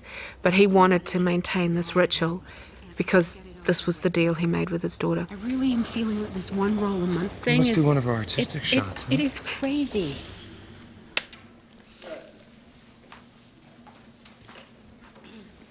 I didn't quite know where and how I was going to do it, but just as we were setting up a shot, I thought that it was a good one for me because it had these Super 8 cameras that were being sold in a photo store, and that was the set that we were using. And I used to shoot with Super 8 cameras. That's how I first started making movies, and uh, I couldn't help myself but have to be a customer looking at a Super 8 camera, which would have been in 1974 exactly what I would have been doing in a photo store like that. I would have been standing there looking at the Super 8 cameras.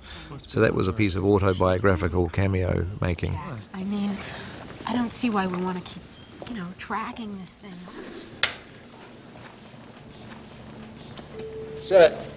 and action. Thank you, sir.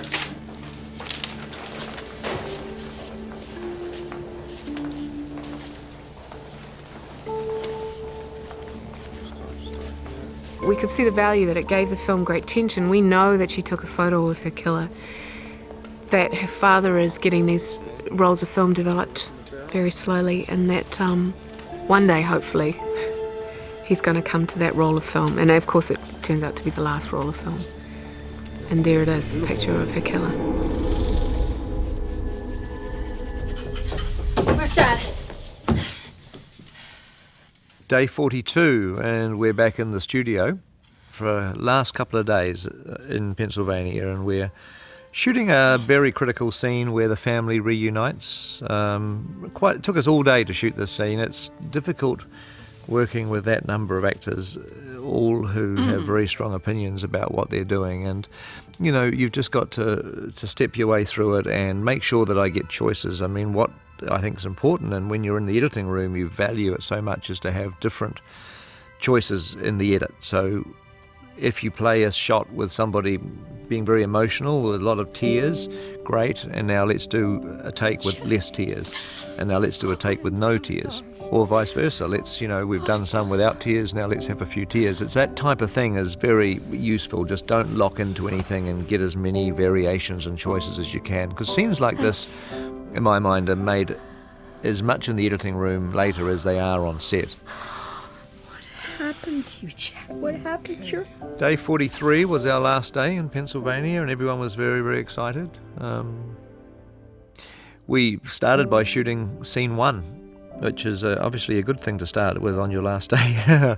um, it was a scene with young Susie looking at the snow globe, and we had this very cute young girl who, you know, was sweet and quite emotional actually and was fun to direct her. I'd never really worked with children quite that young before, and not with a not in, a, in that kind of way. And so I was not sure how to direct a young kid quite, and I just did what I could to get the footage. And we've got enough to cut the scene together. And Mark was terrific. He was there as a young Jack Salmon.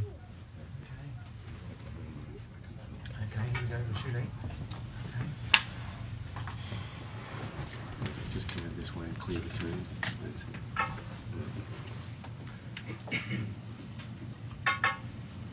And can you can you look at can you play play with play with the teacups, Evelyn? Can you play with the teacups on the floor? Oh, you've got that to play with. That's good. Yeah. And can you walk over to Penguin? Can you walk over to Penguin and look at Penguin? Ev- Evelyn, can you walk over to Penguin? Look at Penguin. Oh, look at Pen- look at Penguin. He's sad. Look at him. He's so lonely. Okay, Jack. He's so lonely. Yeah. Yeah. Oh, it's uh, makes you sad. Alice has a little prologue at the beginning of the book. It's a really interesting little moment. It's the relationship between the father and the daughter. It's the idea that the father has that you can protect your child, that you can keep them safe, almost like they're in the snow globe. That they're also the idea that you can create a perfect world, which is what Susie tries to do when she's in the in between. Look at that, Susie Q. So it's a, just a masterful little piece of storytelling that, that Alice did that we tried to honour by beginning the film in the, exactly the same way. Don't worry, kiddo. He hmm. has a nice life. He's trapped in a perfect world.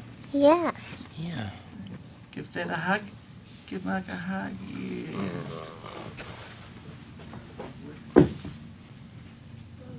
Lost a shoe. Oh, goodness gracious. When you're Where you think we're Carol, going can you put our shoe back on for us really quickly? What's going on? Let's get your shoe. Yep, let's, talk, let's just get through this mag and we'll, we'll try another.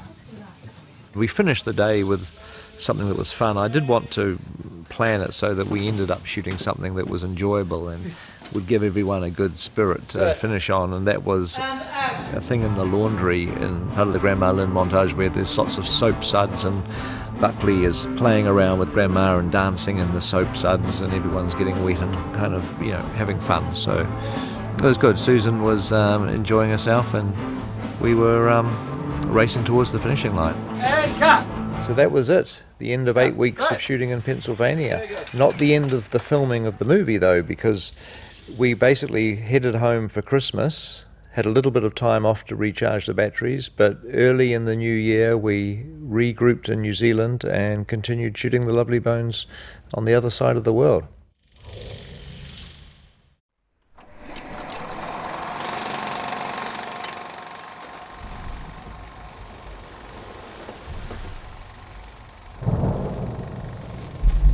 So we had a break, five week break for Christmas. Cut a long story short, everyone flew back down to New Zealand. And on the 28th of January, we were ready to start with day 44. Hey, uh, crew, everybody. everybody. This is Mark. Mark, this is your new crew.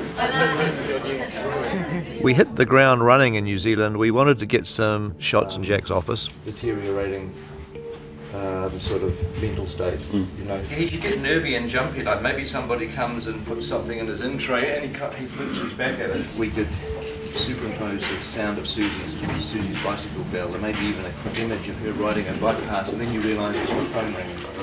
So I could just say bell and it's like, at the moment you think it's Susie's, Susie's bell you don't understand it and it's the phone. So you could pick up the phone, it's a work tool and you just talk and put it down. The man he was, he has lost completely because he is now living in the past and he's living under this weight of guilt that as as Alice says in the book, the hand of God, he was not there when his daughter needed him. Try to focus, Mark. And just do some editing up now, do some editing, but you're getting more and more stressed.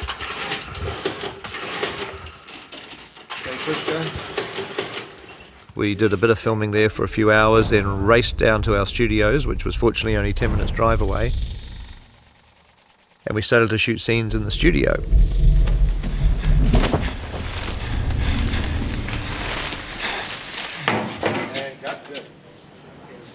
It was a sequence where Jack was getting beaten up by Brian and Clarissa.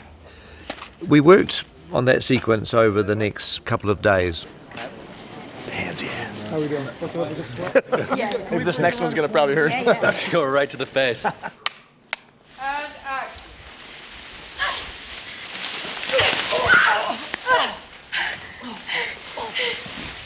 Sick. Brian, stop! Touch my girl! Hey, sick! Get out here! Brian, you're gonna kill him! Stop!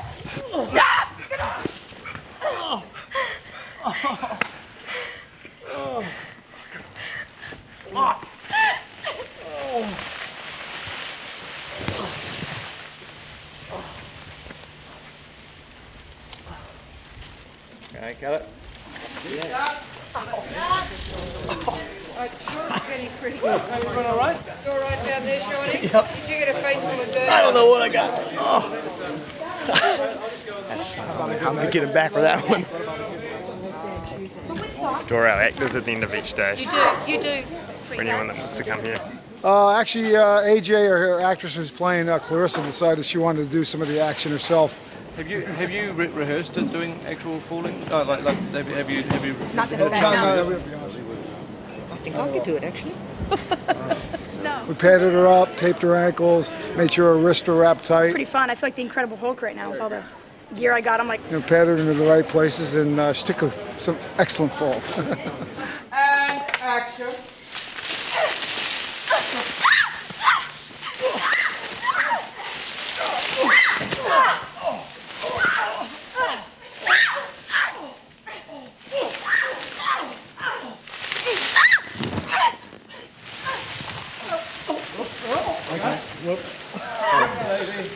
I'm cut.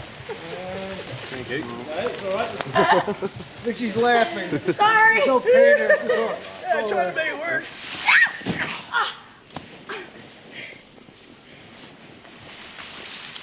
Sick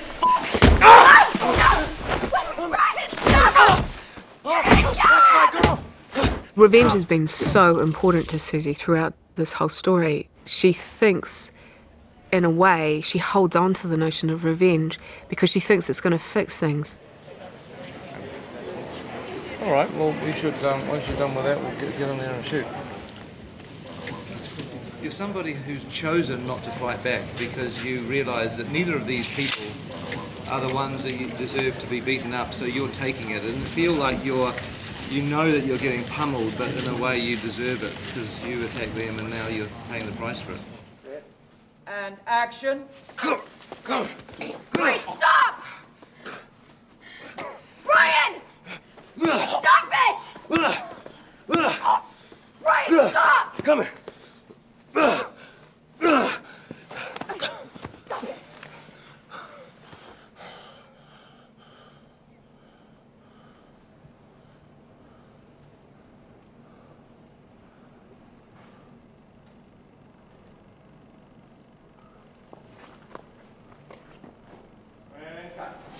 Do one, but now, we, now we're in the, the rhythm too. Just do one, one last one, fella. That was, that was a great guy. One more take to Pete.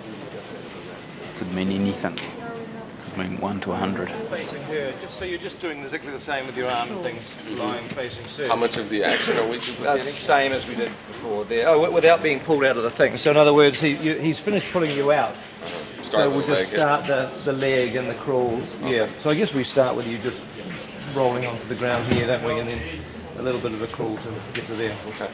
You'll be watching your dad getting hit with a baseball bat and punched. And he kind of crawls getting hit. We'll, we'll show you a, a rehearsal and you'll get the idea.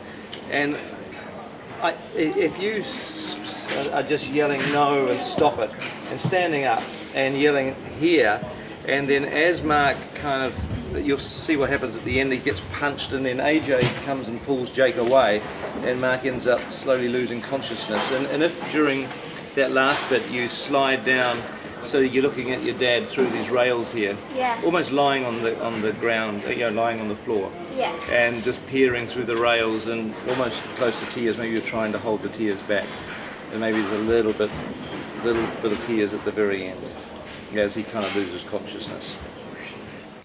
And Susie, in the end, when she realizes that all she has left is anger and hate, and that she has, has almost, her presence has almost infected her father with this, and that has driven him almost to the point where he is killed. She has this moment where she understands, and she understands that he will never let her go, and that her father will never count her as one of the dead, and that she, in a way, I think, kind of forgives him.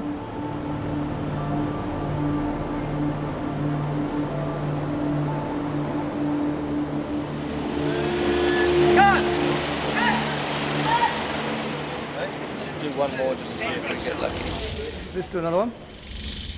On day 47, we started shooting a scene in Jack's study. Clarissa's got a crush on you. Which one's Clarissa? It was built on our small stage, which is not very well soundproofed, and it was the first time that our actors were introduced to the airport traffic and the seagulls, the nesting seagulls on the roof. So just just be aware that you just so you know what we're talking about when we talk about aeroplanes. So you don't think we're we're bad. There you go. Just like that. Okay. She doesn't know you're an accountant.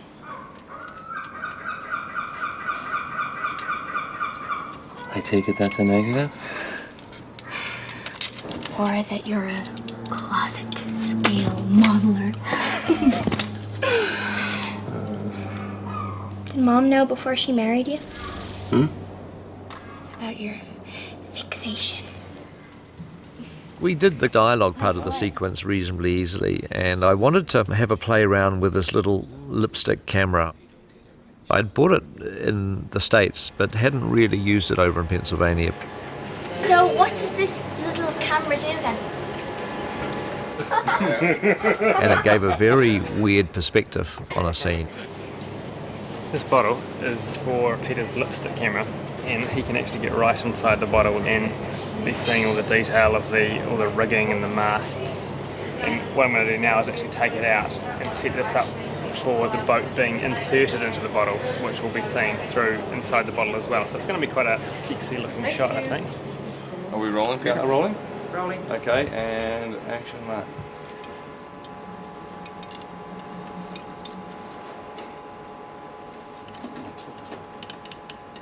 Day 48, we shot Jack breaking all his bottles.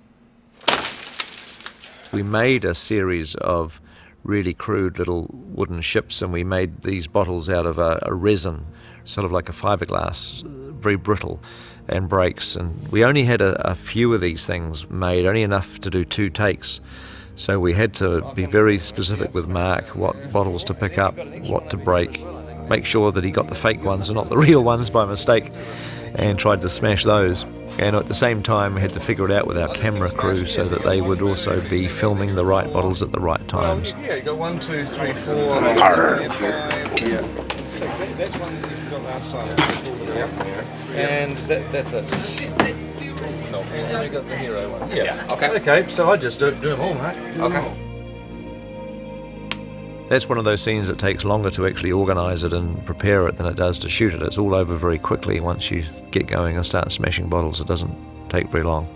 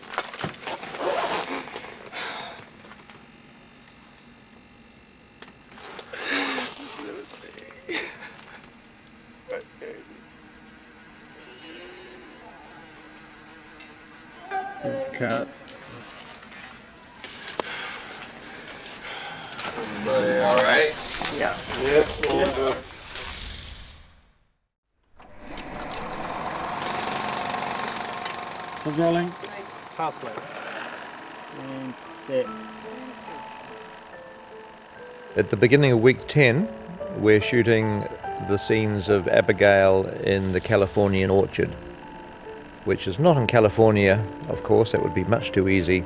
It's actually in Masterton, New Zealand, a couple of hours north of Wellington.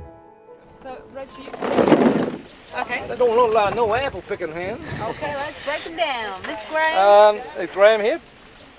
Mr. Graham, can we can we get a little bit of uh, bit of manual labour looking in the um, finger department? Finger and fingernail department.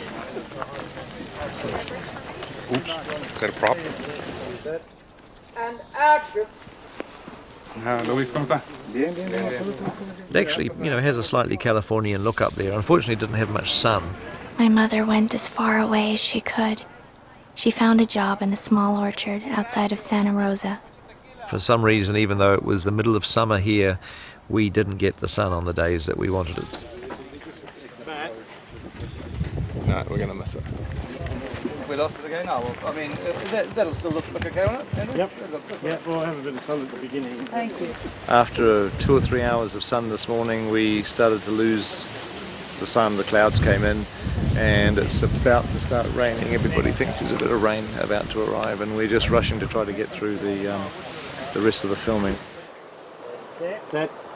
And action.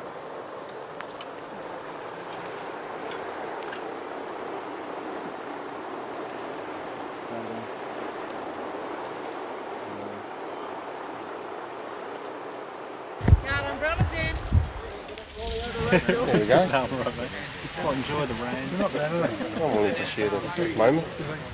I can't even see the place. Here, let me There is clean no your sun. lens for you. Dan. It's summer in Wellington. Thank you, everybody.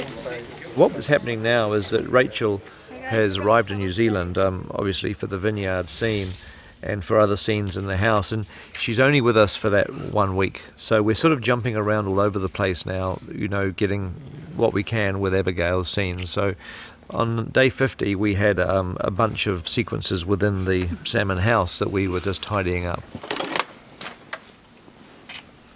We're supposed to go the other way. Sorry. Oh, thanks, Andrew. I'm just trying to have sex with my husband here. Sorry. It's okay. Keep going. Oh, you want to, Still rolling. Oh, want to start again? Sorry. I put the glasses under your back and Oh, it's okay. Whoopsie. Did I knock any books over or not really? Insulate. Sorry. I was going to turn the light out. I was just going to go back for it. Part of Abigail's story is where she comes from. She's very bright, she's intelligent, she went to college, and she gave it up. She gave it up to have children. And it was kind of a deal she made with life. And then that deal got broken, and she lost her child. And, and actually, very specifically, she gave it up for Susie because Susie was the first. That was when she found out she was pregnant, and she gave it up all those dreams for her daughter, and she didn't mind because her daughter became her best friend. And one of my favourite scenes is the scene when Abigail comes back into her room. She hasn't been able to go in there, as Grandma Lynn tells her, you know, you have a tomb in the middle of your house. She can't go back in there, But the person who truly reclaims Susie is Abigail.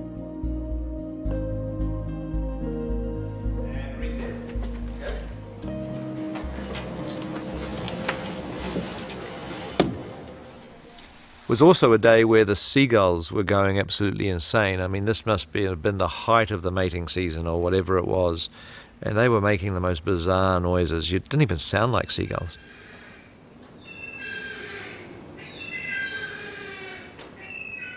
Sorry, it sounds like a donkey. Sorry. What is that noise? It's the sea. really? Maybe that'll work. And then he'll stand up and start backing away. And then that will happen. Mm-hmm. And He'll wonder what this is and he'll turn around. So now that's when you're in what happens sort of tragicomically, um, which is the way we tried to write it really, was that he, he gets infused with this new energy after this moment, this surreal moment where he, he senses Susie's there and that she's reaching out to him. He gets reinfused with this energy. He decides he's going to complete the deal he made with her. He's going to develop her films, and he thinks about it, and he thinks about her, and he thinks, you know what? She must have known this person because she was a smart kid. She just wouldn't have gone off with anybody. And he starts to insert himself into the investigation, which is exactly what happens in the book. Everyone's working around the clock, so why don't you just settle down and get a bit of sleep? I, I'm Len. I'm perfectly fine. I, and I understand that. I appreciate that. I just want to help. Look, uh, just trust me, Jack. Look, leave it to us. We're going to get the guys, okay? We're onto it. Okay. You understand me? We're onto it. I've got the best guys. We really. Well, but I, I, I have his address right here. Is it a bad thing if I just drive by there and take a look myself? Well, look, why don't you look? No, look, don't do anything, Jack. Why don't I just drive by there and I'll take a look and then you just call me back after? Okay?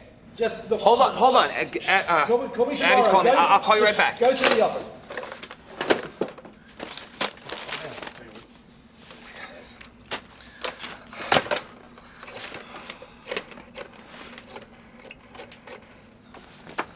Len, Yeah, hey, it's yeah. me. I found the file. Uh, okay, good. Look. No, I, I, I- I found the file. You know what? He's got a history of credit fraud. Okay, look, Jack. It's that we we gotta let, let, let, let's arrange He a lives meeting. right around the okay? corner. I'll I'll talk just to take my a quick assistant. look, and then you, I, I'll call you, and then you can come and meet me. I'll bring the rest of the files. Yeah, Okay? yeah, just- All right, Len. Thanks, buddy. So we're racing to get um, Mark finished because this was actually his last day on the movie, and there's bits and pieces to do. Rachel's only got um, one more day left, you know, so we're trying to get her wrapped out as well. And eventually we got Mark shot out, last shot, which was um, an insert of the snow globe. Unlike Abigail, who can't go into Susie's room, Jack practically lives in there. In fact, at night time, you know, he kind of sneaks in there and he'll sit in there. And um, you see him again with the snow globe that he remembers how much she loved as, as, as a girl. And he's been imagining her, and she, in turn, in heaven, has been creating her own perfect world. Maybe a little, a little bit more of a smile, Mark, on the shaking. You know, Uh, so I was just thinking of how how worried she used to be about that. Yeah, whole thing. yeah, that's exactly right. Yeah, yeah. You know, just- yeah. He was always just concerned with it. Yeah, and I, you know, and it's, and she's no longer really the dead girl, and which would make this all very sad and poignant. You sort of, she's kind of, you're feeling her presence Yeah, around it. Yeah, she's- yeah. she's-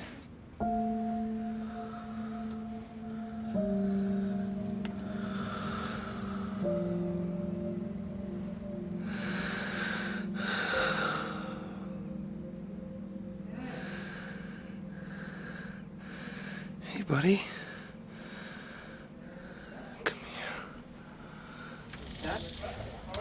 Yep, very good. For taking that thing. Nice, guys. Thank you. It's a pleasure. That's it. I think that's it for me. Is it? Yeah. Oh. Well, until I come back, pick up a couple more, maybe. Really? Yeah. We'll get it. It was a pleasure. Thanks. Otherwise- No, and it was a- it Thank you, sir. it was an absolute pleasure. Thank you. Nice to meet you, Thanks, Mike. Colin. It's a pleasure. And eventually we, we got Jack shot. It's always strange to finish up an actor and have their very last day and be wrapped out.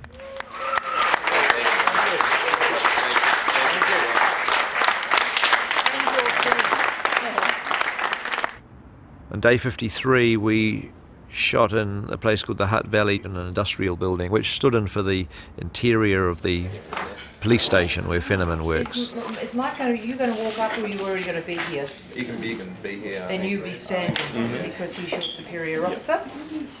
Yeah. Oh, is that, is that right? You know all the, Oh, yeah. all the etiquette. Beautiful. Be standing if I was there.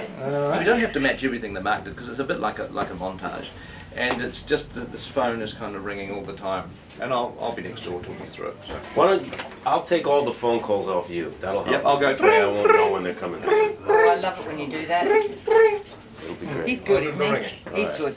Okay. Yep. I'll do the phone call. Ring, ring, ring, ring. Fenerman. Hey, there's Jack Salmon. Hi, Jack. Hey, look, uh, Frank Peretti. Have you ever heard of Frank Peretti? Who?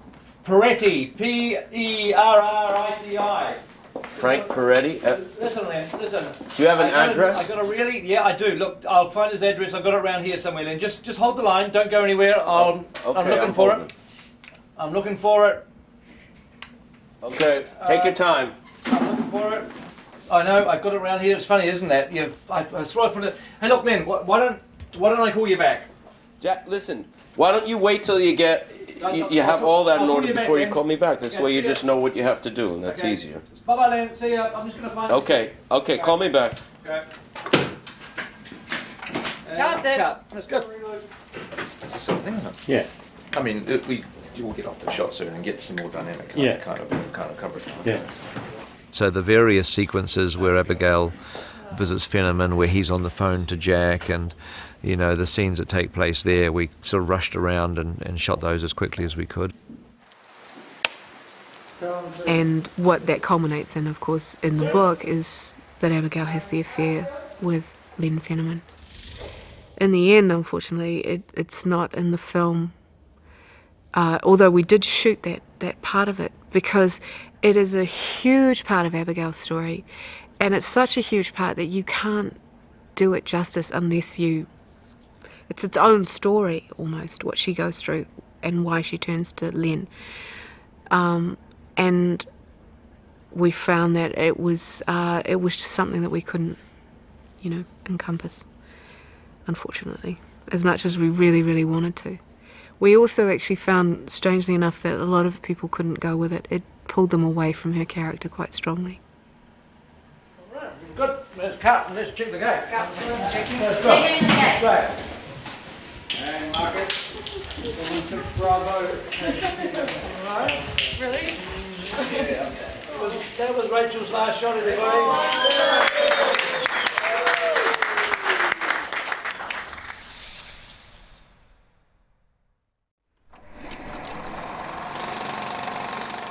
Day 54, beginning of week 11, and we're filming bits and pieces that take place in Harvey's garage, which is largely was shot in Pennsylvania, and we didn't really have much built apart from a little bit of the interior in our studio in Wellington.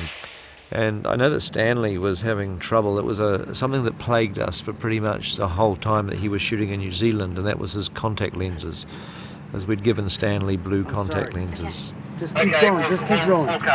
No, no, no. Don't. Don't. It's it's not going He to change. says keep Let's just keep rolling, going, keep Pete. rolling. You like just got to do it. trying I it. just got to do it when I can do it. I'm sorry. My eyes are just on fire. So he hadn't, for some reason, been a problem in Pennsylvania. I couldn't get them in. Couldn't we get them in. for like 20 minutes. Well, as I told you, I told you you should have never taken them out before Christmas. one fourteen Bravo, take one. A and B cameras. Uh, come. Set. And action.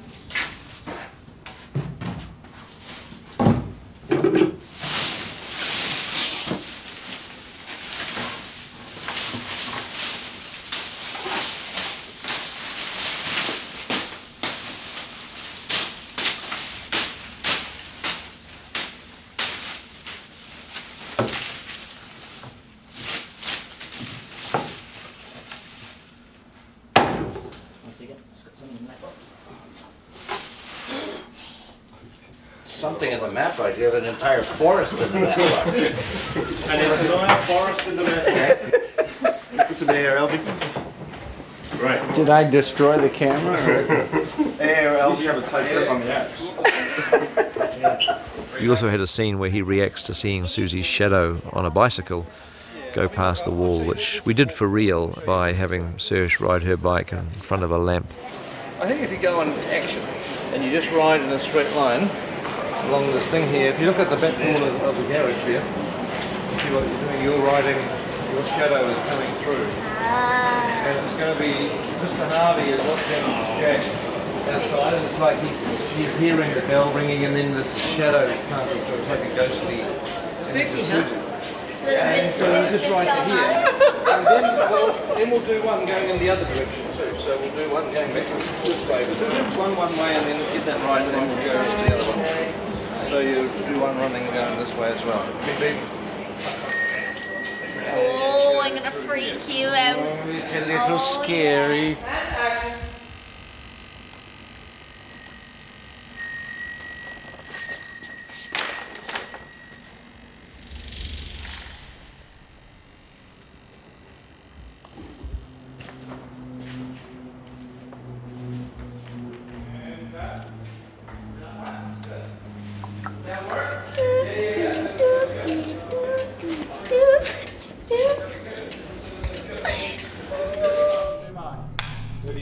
Day 55, and we're shooting a very weird sequence where Susie is seeing Harvey in his bathtub, except she's in this nether world between living and the dead, and it's an experience that Susie is going through, and it kind of sends her through leaving Earth and on her way to the in between, to this world that she's about to find herself in.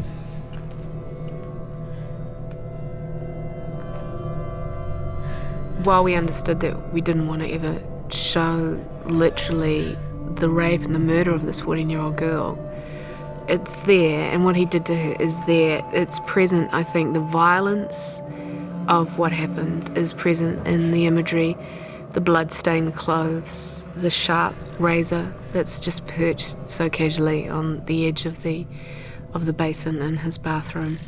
You understand and know exactly what happened to her. It's a very important scene because this is when Susie realizes she's dead.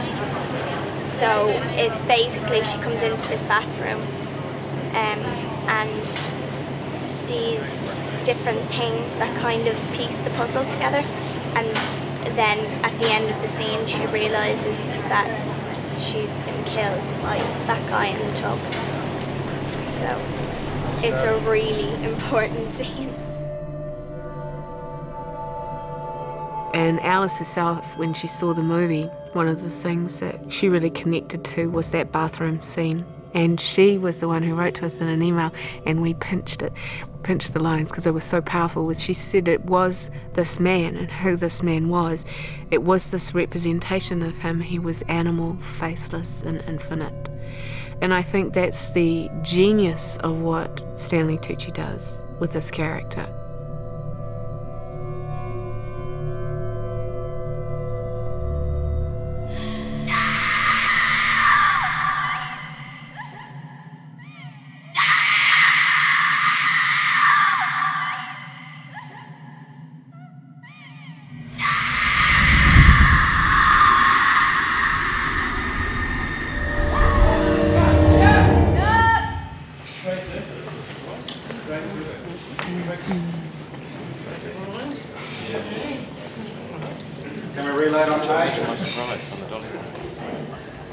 Day 57, and we're in the basement.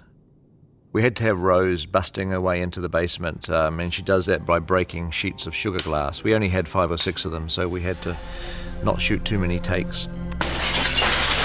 We've got six, minus this one, so we've got five. The trouble with sugar glass is that it shatters into tiny powdery pieces. It doesn't really break into the sort of large bits that a, a real glass window would break. So, you know, I don't find it that convincing to tell you the truth, but um, for quick shots in the movie, it does the job okay.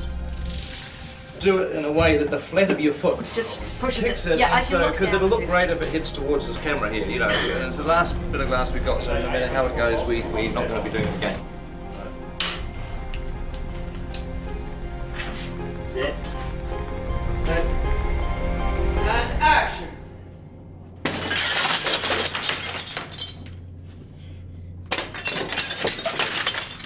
And we wanted to have Lindsay's entrance as messy as possible, so we did this rather precarious balancing on piles of newspaper and old paint tins and boxes that kind of gave way. And Rose was a real trooper. She did this kind of, you know, slightly awkward little stunt herself. Better wounds? Take them on for the salmons. and the Jacksons. So this is Saoirse's uh, uh, remains. Good, good way to see you. Yeah, that's great. Yeah, that's Okay, great. all right. Just think of Saoirse's little smiley face. And I- I don't want to think think about about that. I try to think of It's anything. your job to think of those things. I just want to paint, paint a picture for you. It's okay. Just in case you had trouble, trouble with it. No, no, it's okay. It's very important to us that this film contains virtually no violence. It's not about a murder, it's about what happens as a result of a murder. So we found ourselves, you know, filming things like when Harvey drags a sack, which in theory contains Susie's body across the floor, and he throws it into the safe and he kind of like shoves it in, or I think at one stage he, in our dailies he kicked it and slammed the door shut. And uh, things like that, which are relatively benign in some respects, it's just a lumpy sack. It, it comes across as being incredibly violent, and maybe it's because the the movie doesn't go into that area, so the little moments that we did have kind of somehow seemed amplified. But you know, the dailies that we shot uh, far more you know horrible really than what ended up in the movie.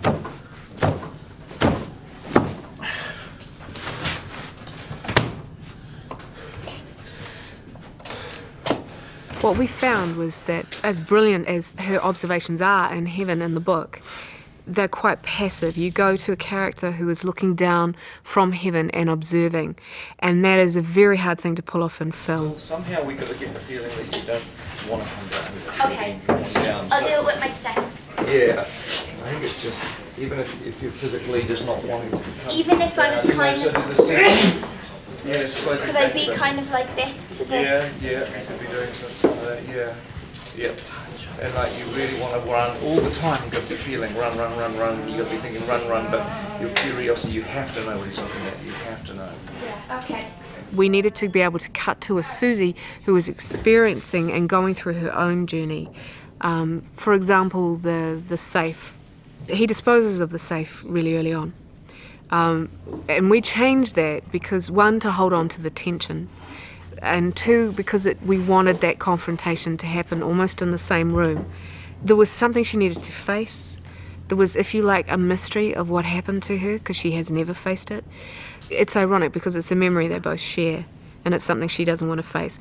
But she does face it, and it's an incredibly brave moment for her because it's part of the process of what she has to go through in order to reclaim herself from the man who took her away. Day 58, and we're filming Susie's arrival in heaven. Now, this is the type of thing that you shoot, and so much of the effect and so much of the final impact is due to the digital effects and the way in which this is going to be realized um, eventually once the the proper scenery and the proper backgrounds go into it. Uh, in this particular instance, uh, Susie ends up grabbing a hold of a flower which stops her travel being swept along in this sort of light storm. And the flower anchors her down and she lands on the grass. That's great. Looking around, and over towards me if you can, over here. And slowly going down. We're going down, sir. Down, down, down. Go, go, go, go, go. Looking around at the soles. Up to the camera here, sir. Look at my hands. Going round and round and round. Look at my arms. Round and around and around and around strangely beautiful and peaceful. It's quite comforting. Just relax a bit. Come around this way.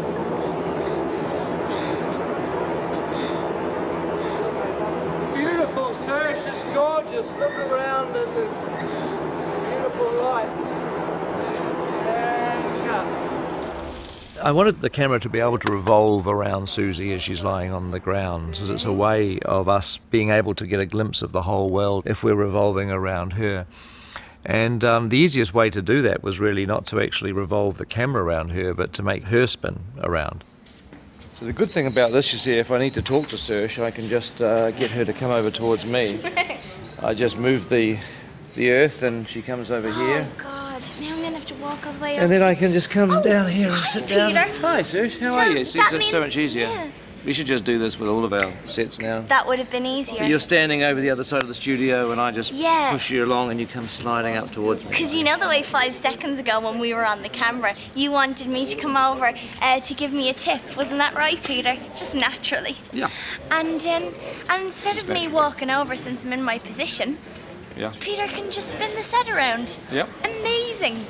Talk to her and then send her back. Now, if she starts talking too much, wh- And, which she you does, know, I just we think can just it's a send her really away. incredible um, piece of equipment that you Peter see, where can she just keeps talking, and we just fire her off into, into the background there, and that's fine. You see, keep I her back you there. wanted to give me a note. So that's all right. You see, it's a good way of just uh, getting a bit of silence on the set. Oh, sorry. Let's get the checkers in, please. We need to shoot. Let's get this done. We haven't got very much time. This one. Okay, we'll shoot it.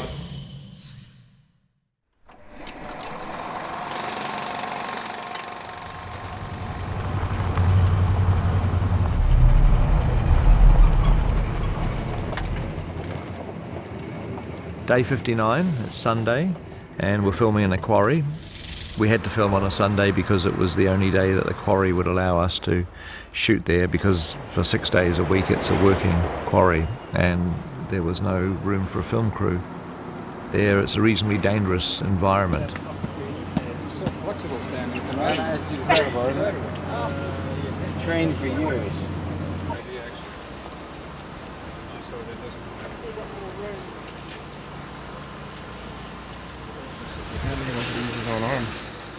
Yeah, well, Stanley Tucci's uh, notorious for his ambidexterity, if there is such a term.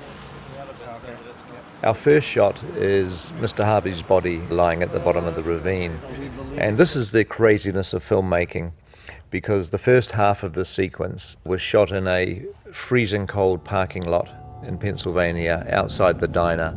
It was one of the coldest nights I've ever experienced shooting a movie. Everybody was chilled to the bone, no matter how many coats and scarves and gloves we put on, we couldn't keep the cold out. But that was the beginning of the sequence when Mr. Harvey stands under the tree and the icicle falls. And here he is lying at the bottom of the ravine.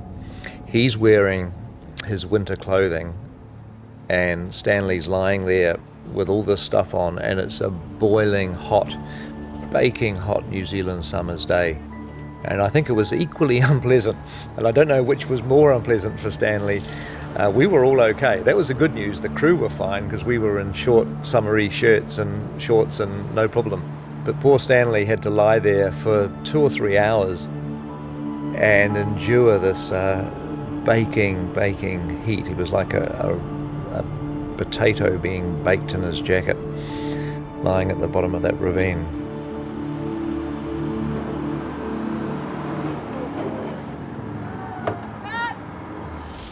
Right, you're not too numb. All right. stuff really looks amazing. You're going to be, you'll probably be finding it in cr- nooks and crannies Yes, for the next I week will, or two. Okay. Uh, this was a real race to the finish because we had to shoot the scenes of discovering Mr. Harvey's body, and then we still had to keep on shooting with some quite major setups um, that involved Harvey driving through the quarry and getting out of his car and throwing the bracelet away. And he's throwing away her life. That's 14 silver charms, one for each year of her life. And it's uh, had been collected every year so carefully by her mother, this, this thing, this bracelet. And he just throws it away. Before he throws it away, he takes off one house charm. And he throws everything else away. Meanwhile, in the in between, Susie starts to sink beneath the water. The quarry was way too big to be able to light. We didn't have enough lights to literally light the whole landscape. And it was also dangerous uh, to put lights up because it was a very windy environment. So we got round that by timing it very carefully so the key shot of him stopping his car, getting out and throwing this bracelet into this lake far below was one that we did just on twilight. So we timed it very, very carefully, and I got to say, we managed to do it perfectly. Got a couple of takes done, and then it was over. Too dark, and we couldn't do any more shooting in that particular environment. You see all the barley on that field? We put it there. Wasn't planted. Artificial. Sounds rolling. Day 62 was a 224 Juliet, take one, A camera marker. big day. Uh, we were away on location up in Masterton and shooting a uh, scene that is a very important part of the story. It's almost the climax of the film in some respects, where Susie is uh, um, she's greeted by the previous victims of Mr. Harvey's, and they invite her to go with them into heaven proper. And she turns round and says, "No, there's, wait, there's something I, I need to do." And she goes back. You've got the, the pan She makes the decision to go back because she needs to do one last thing. And if you want to know what that one last thing is, I suggest you watch this movie. It's what Fran said when she had this moment of clarity, and I loved it. And she said, It's the triumph of a loving heart over an empty one, and that that will always win. So, no matter what he's taken from her, he couldn't take this from her, which is her soul, which is full of love, not only for her family, but for other people and for life itself. And she's always had that. So, we always you know that that's the real triumph of, of her her story. It's not him getting caught. It's not her father understanding and people knowing who killed her. Uh, it's this. This is the moment of triumph for her. Come on, what are you waiting for? Holly, if you could go back, what would you do?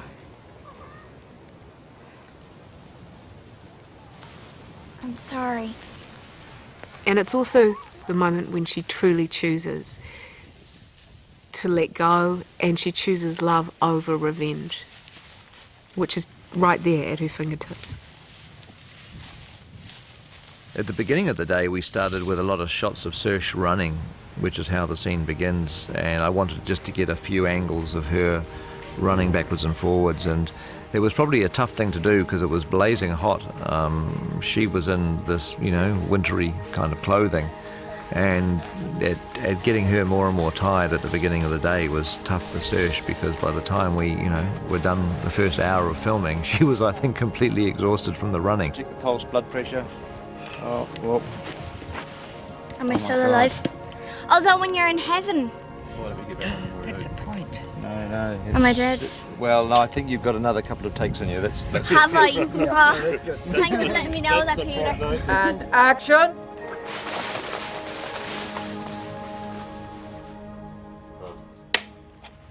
Day 63 was a, a great day for drama because it was a, our big scene with Fenerman, the policeman interviewing Mr. Harvey. And so it was fun on this day to let You know- Stanley and Michael do their thing and, and just look at a couple of really great actors. I know it sounds stupid, but all I can keep thinking about is why didn't I, you know, see something or why didn't I hear something? I mean, because, I mean, surely that poor girl screamed. The police interview carried on into the next day, and the conversation moved over to the doll's house. What I figure is that you're just following him around the house. So he looks at you here, and you say the line, and then- then he disappears down here. So And you kind of you you just and, and when and when he arri- when he arrives here, he goes up to here. Oop, no, up to Oh, here, and you disappear there, and then and what's below the stairs? Oh, that would be the basement. Yeah. So we just I mean just get a variation Yeah. on what we did. So it, it um. Or just play around with it. Yeah, I I mean that's it, we, we may or may not use it, but it, it's No, no, it's cool. If it works, it'll be interesting. Yeah. Can we do one where I t- where I touch it? Yep. Or, Yeah, yeah. Like say, like come in and go. Like he, he, look at him, and then go, oh, oh that's oh that's the basement. And then just shift it. Yep. Okay. Yep. I wanted to sort of have a like a cat and mouse between Fenerman and Harvey as they're looking at each other and inspecting the doll's house at the same time, and they're sort of peering in through windows, or you almost like a Land of the Giants at some stage, and working their way down towards the basement door of the doll's house. What's that underneath the stairs? Oh, that would be the basement. See?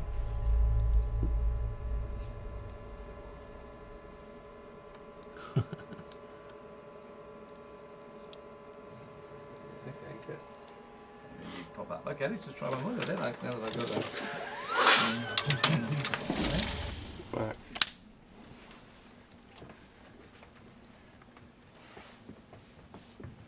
Set. Well, it certainly shows this is amazing craftsmanship. Well, thank you. Yeah, I, you know, I, I took a risk and I, um, I discovered a talent I never knew I had.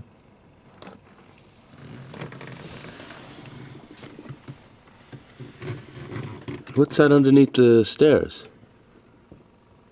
Oh, that? That would be the basement. Basement. Should we should we move the, move this chair out of the way, Andrew? This one? The one that- the one that was across Mike's face. That, that one over That there. one. That- I thought you meant this little chair here. Just a minute. Excuse me. Just a minute. Yeah, let's, let's, let's just whip, whip that, whip that I'll just come up the stairs and see you, Peter. Okay. Are you upstairs, baby? Yeah. Finally You mean this one? This Been a long, one? been a long time coming. Getting it broken.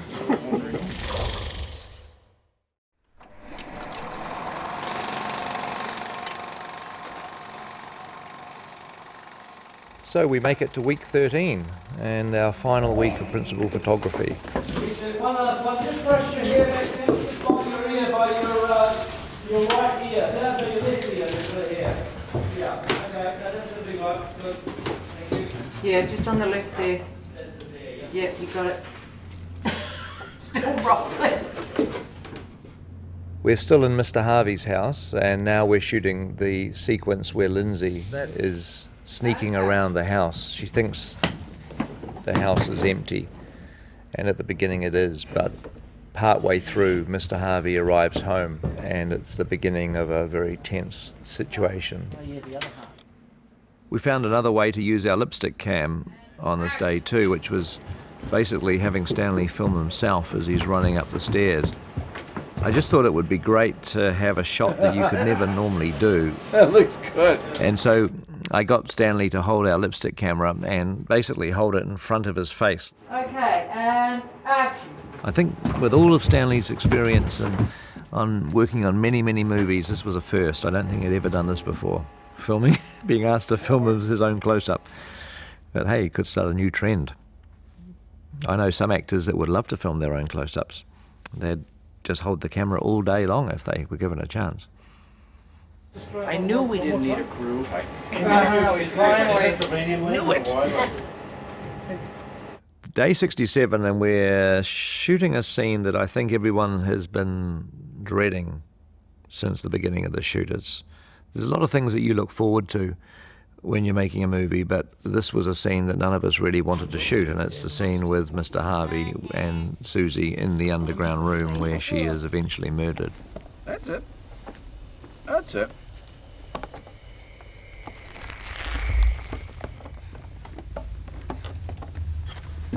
Wow. This is neato. We've written the script in such a way that we don't show her murder. It was still a very unpleasant scene to do. It just was like, ooh, be glad to get this stuff over and done with. And it was tough on Stanley and too. They had, you know, it was a sort of a tense day. Everyone was kind of a little bit tense. It wasn't relaxed, and it shouldn't be. I think that, you know, an actor like Stanley has got to put his head into the mindset of being a child murderer. And Stanley is a very, very loving father of three kids. Be the first one? Um, he's a wonderful dad. And for him to have to put that to one side and play the most opposite extreme is not an easy thing to do. There you go. Good. Good. That's it. There you go. Good. Mm-hmm. Mm-hmm. Mm-hmm. And then does it? How does those lines at the end? Do they feel okay sitting down? I, I, I, just I like- actually didn't think that I would like it sitting down, but I like it sitting down because It plays against it a bit. It really. totally plays against it, Yeah, as opposed yeah. to doing this. You know, I don't want you to leave. Right, Yes, I know, It's yeah, uh, just yeah. weird. It's just Yeah. you know. Because what's scary is you can just sit there very relaxed and casual and say, I don't, I don't want you. And because you've got incredible power, and you don't have to sort of physically It's the use it. thing in the Yeah, world. yeah. Because now you're here, the lid's She's shut, here. nobody knows she's here, and, and, and She you don't. weighs Yeah. 50 pounds, Yeah. you know, Yeah. We should shoot. Should we? Should we shoot one of these? Eh? There's a brilliant moment in the underground room when she answers his question and he doesn't hear it. He goes, mm-hmm, mm-hmm. It's special, isn't it? You know? And she's trying, she's kind of pleading with him in her own way. She's being incredibly polite. But he's gone, he's shifted, the mask is slipping, and she's starting to see the mask slip. And he's moving somewhere else. And he's revealing the truth. The truth is, you know, he's never seen her as someone whose feelings or life has any value beyond what he, he wants from it, to take from it. And then these, these I thought were pretty. Oh, little figurines, with a little. I thought kind of pretty. And there you go. They're nice with the candles and everything, right? Hmm. That's a cute. That's a hat. Would you like a refreshment, Susie? Actually, I have to go. Oh, that's not very polite. Be polite. We wanted to take the scene to the point that Harvey is about to commit this murder, but then allow Susie's fantasy to take over. See, I nearly broke away that time. And her fantasy is that she escapes. She knocks him over, she gets out, and she runs for home.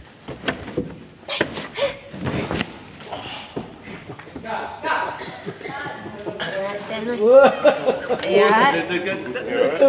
Touch your nose. Oh my god, are you okay? No, it's okay. No, no, no. You alright? Yeah, I'm fine. No, you didn't. No, it's fine. You Did Did I hurt you? No, it's just Man, like it was a little Oh, touch. God. No, no, no. It's the slightest touch.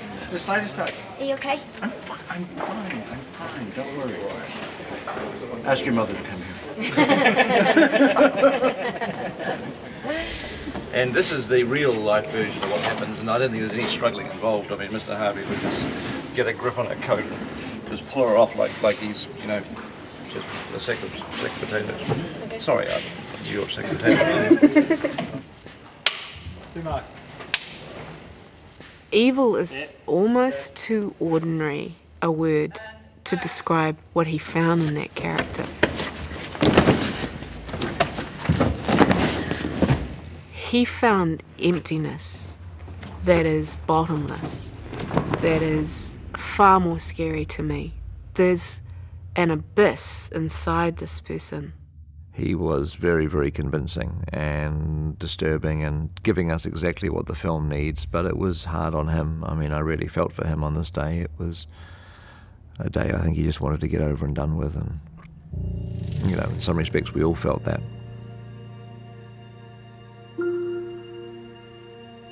Day 69, and it's a little bit of a clean-up day. Two more days to go.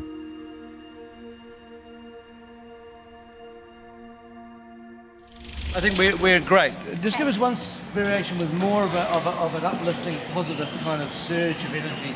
It's almost a smile, but you shouldn't sort of smile as such. I know you mean. You're coming towards Ruth, and it's like, hey, Yeah. it's like everything's okay. This is going to be all right. Yeah, yeah. Uh, I, you know, the sense that you're, you know, this is just about to, to finish and everyone's going to be happy. You know, it's like I'm going to get my kids, my parents back together. We're going to be okay with Ray. It's like we're all going to, you know, it's like a feeling of a good, happy end. The most major thing we shot on this day was the discovery of a body, which happens in Harvey's house. We had this notion that Susie runs into the reality that Harvey has killed before, many times before he kills her, by going into his house, but encountering the memories of these previous victims and previous murders. So it was an intricate scene in which Harvey's house sort of changes into various environments. Look what Miss Harvey's done with this kitchen. Yeah, Oh, this you is know, nice. you wake up in the nice morning and someone's put a freeway through your house. You know what I mean? But it's okay because up at the bedroom they've put up um, my power lines fashionable. through. This is in now. Yeah, All the footballers' wives are doing it. yeah, yeah. Must be worthwhile. They, um, they, yes, that's right. Everyone wants to live under a freeway. Oh, of course they do. It's close to transport. Yeah. And the first of these involved a, a sequence where Susie goes down the corridor of Harvey's house and into this weird environment, which is a roadway, and finds the b- body of a lady buried in the gravel on the side of the road. We had these lights panning around, simulating the headlights of cars, because Susie is in the middle of a busy road and having this experience. So we wanted this these to be kind of chilling and uh, shocking revelations for Susie, but without being, you know, obviously explicit or, or grotesque in the way that we, we filmed them. You're on the background all the way through, right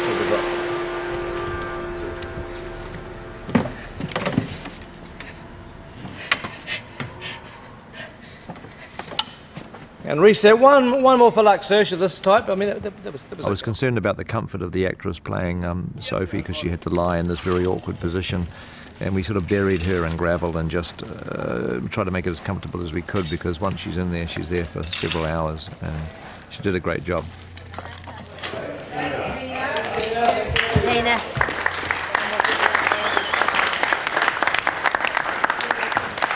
Now we're, we're all a, a little bit busy at the moment, Tina, so if you wouldn't mind just staying there. And that sequence continued on into the last day of the shoot, day 70, with the discovery of Flora's body, who is this very young girl. They were just um, making Ruby look very pale and very dead, unfortunately. But Oh, I'm going to have bad dreams. Oh. Oh, oh, oh. Everybody nightmares. And this is tricky because there's a natural thing in so-called Hollywood films where you you know you don't show children being murdered, and and we don't show children being murdered in this film, but we did we do have to see the aftermath and see, and acknowledge the fact that Harvey did commit these crimes.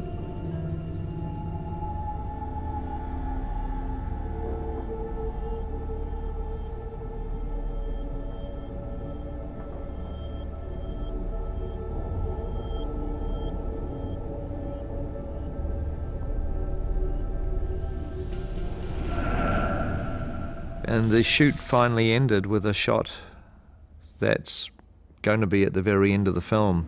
Just smile and move the camera around and try it again and the little angles and stuff, but it's not like you're sort of posing like a glamour portrait or a, or a Vogue or anything. It's just like you're just taking some realistic looking, just just very natural shots of yourself. And you should do the thing where you're changing, oh, where you're doing the film. Crunk, crunk, crunk, crunk each time. You just have to do a little kind of as if you're reloading the camera. It's her. It's the, it's the memory. It's the photo that was taken, where she took the photos of herself, um, and that's what you see as the last image, because she's been talking to you through the movie for so long. She's been having this conversation with you, um, and what's really cool, I, I think, is that the last line in the book is the last line in the film, and and that it is full of love and warmth, and she's free now. She's happy. Now it was time finally for Susie to to wrap out of the film. Saoirse did the last shot, and it was over. But I'm coming back in June. You are. So you're not rid of me yes. You're not. No. You're Thank not you very much. yet. Yep, mm, that was good. So right from the very beginning, we planned our shoot to have our 13 weeks of principal photography, then have a, a period of a couple of months to edit the movie, and then reunite with a very small group of the um, of the actors to do the blue screen shooting. The blue screen shooting actually uh, commenced with not with blue screen, but with us in one of the most spectacular locations in, in New Zealand, the area around Queenstown. So let's jump on to our visual effects shoot and have a look and see what happens. It's all, it's all watery. Hello. How are you? Good. Right, you keep your head. It's, it's all, it's I all- won't move, don't worry. That's, that's I think I've said hi to everyone now. Have you? You okay? I don't know you're There you go. Here we go, please. So, Keep rolling. So we're starting pretty much the uh, the only visual effects shot in the sequence, which is Susie's underwater. She lies down, and the camera pulls out, pulls back, and she's in a gazebo in a forest, which is here.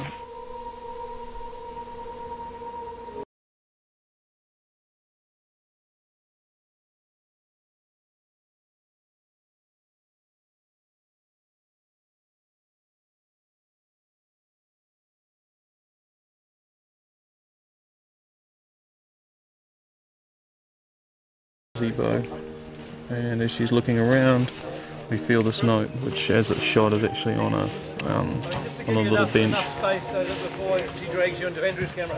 And she goes and reads the note. She reads the note, we crane down, we see her, as she closes her eyes, she sees what's happening on Earth. Captain! Help lights! Well, I mean, that was All right, it. Was just needed just to. a more gentle sit up. Just do another, Yeah. please. The, the timing Yeah. of the start. of the Timing, everything I was good, is a- yeah. Just, just slower actual sit up. And this is when Nikki, um, Nikki SooHoo's character Holly arrives. And they start talking, Not supposed to do that. and she tells Susie to follow her, and they start walking through the forest. I was running. I think my hand touched hers. Yes, that's all it takes. It was an accident. Doesn't matter. She carry it now for the rest of her life. Her mind filled with strange imaginations. She not dead. She don't understand. Understand what? You're not supposed to look back. You're supposed to keep going. Hey, come back. Who are you? I'm Holly. Holly Golightly. What? That doesn't sound like a real name. It isn't. I borrowed it. I told you. Yeah. Even though this was a visual effects shoot, we were still filming our actors as we required them. And interestingly, we welcomed a new member to the cast, and this is Nikki SooHoo, um, a very funny young actor who plays Holly. I'm Susie. Yeah, I know. Can you do me a favor? What? Walk faster. Why? Because we have a long way to go. But I only just arrived. And Holly in the story, I guess, is best described as like a spirit guide who comes to Susie after Susie's been killed and arrives in the in between, and she's she's there to help Susie move on and uh, do what she's supposed to do to, to take the final trip to her heaven. The gazebo keeps following me in the in between. And basically, it's trying to keep me back. And Holly is trying to move me forward. We completed the sequence in the forest when Susie finds the packet of photographs. I lost it. Help me. Help me look. Look for what? which is really her version of what's happening on Earth with her father, who's got that last roll of film processed and he's picked it up from the shopping mall. And we just wanted to intercut between Jack experiencing that. The collection of those photographs, which obviously contains the key image that Susie's been patiently waiting for, and she has a, a like a mirror of the experience in her in between.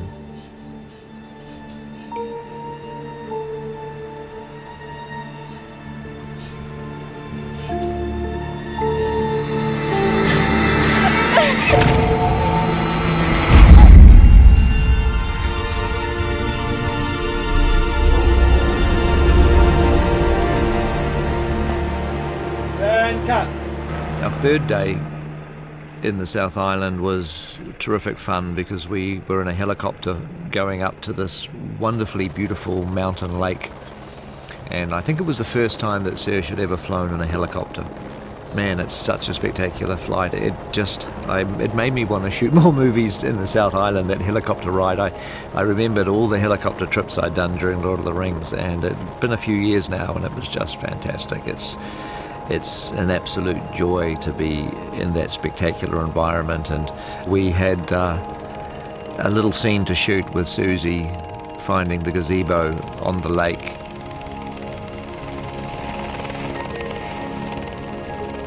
In essence, she's going where she needs to go now, which is to the wide, wide heaven, beyond everything she knew, as we say in the film. But sh Susie remembers something. There was something she was meant to do, and there was some place she was meant to be, and she stops on her journey, and she lands in the in between. And of course, what's the first thing she sees in the in between? It's Ray in the gazebo, and I love that idea that this that, that was the thing because she had a date. She had a date for Saturday in the mall in the gazebo, and of course, you know, she, this is what she wants. So the, this is where she was meant to be, and this is this is the secret desire in the in her heart that she holds on to, and the gazebo comes to represent in a way her secret desire, and it becomes this place where she locates herself in the in between. We finished up the third day with the continuation of the scene that we started back in our studio with the revolving turntable of grass. And now Susie sits up and stands up, and we're in this amazing environment.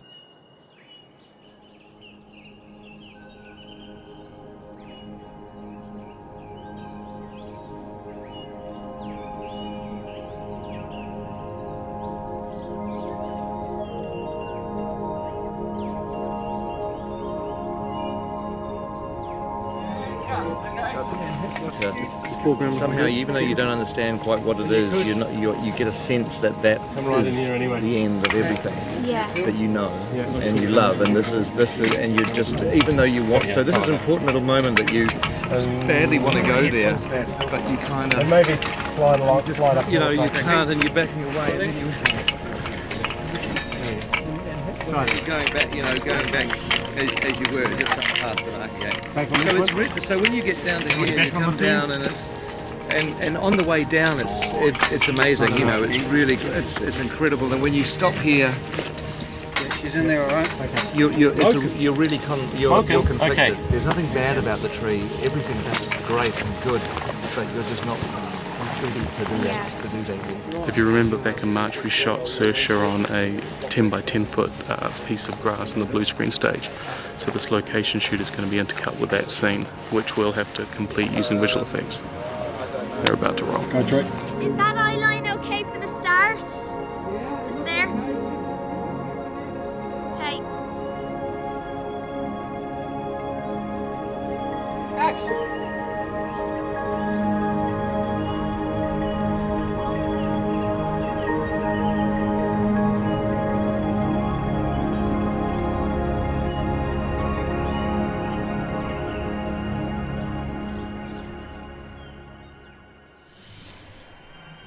Fourth day, we filmed on the lakeshore at Lake Wakatipu, and it's a piece of information that's important where Holly explains to Susie that, and to the audience, of course, that this is not really heaven. It's the in between. It's a little bit of both. It's the world between heaven and earth, and it's a mixture of the two. And so it's unusual and strange and exotic, but is also as familiar at the same time. And that's very much the challenge of showing it in the movie is to use the visuals of the film to blend between the familiar and the unfamiliar and create this strange world which has a hold on Susie. It's hanging on to her, not allowing her to go truly forward and to escape Earth. And the danger, as Holly explains to her, is if she doesn't complete the journey and complete the journey through into heaven, she's in danger of being stuck in this in between world and really never escaping it.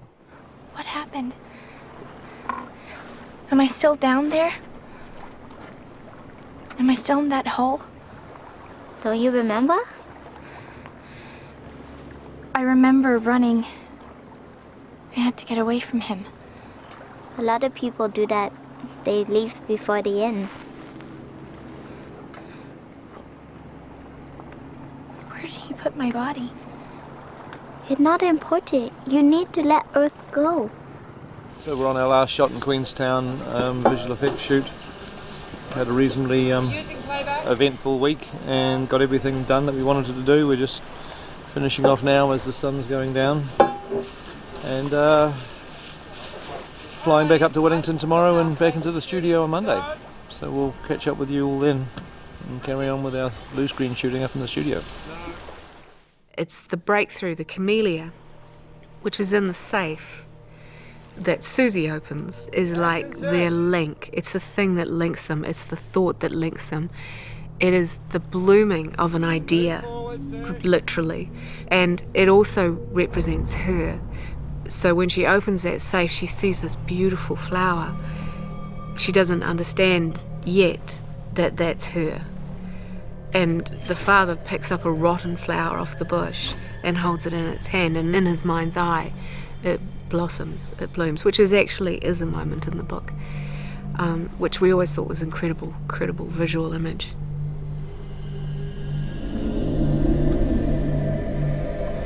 Cut. Let's do another one. That's great. Okay, let's do one more.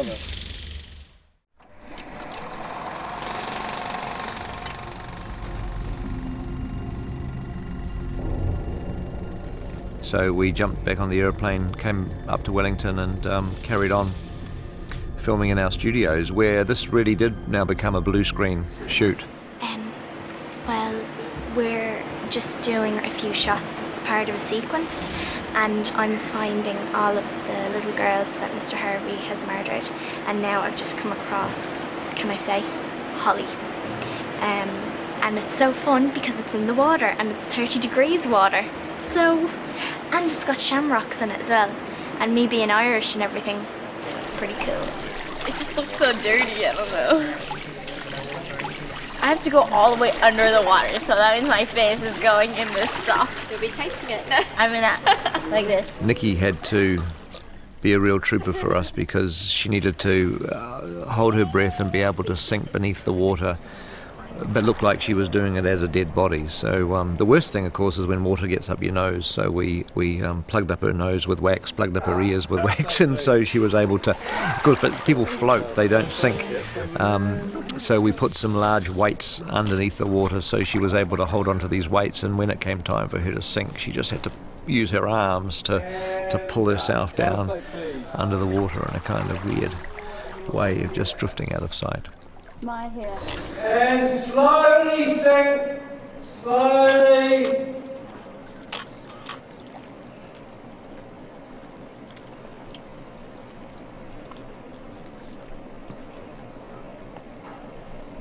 And. And that's another change we made from the book because, of course, Holly was not a victim of Mr. Harvey's. But we thought how powerful it would be if you knew one of those dead girls, if you, as the audience, knew one of those dead girls, and more importantly, if Susie knew one as well, that she wasn't the first. She may well not have been the last.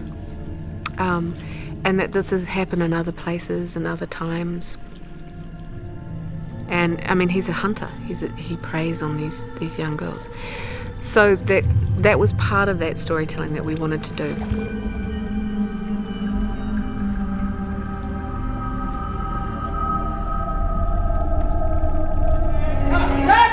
Okay. Yep. Um, Yep. Susie comes across several of Mr. Harvey's victims. One of them is in the bottom of a drainage ditch, and Susie trips and tumbles and falls down there. And so we used Min, um, who's a local stunt woman, to double for Saoirse, and and Min had to do this roll down the hill over and over again till we got the the timing right, and she had to land in a particular way so that I could then pop Saoirse in there and uh, carry the shot on with Saoirse sitting up and and looking around.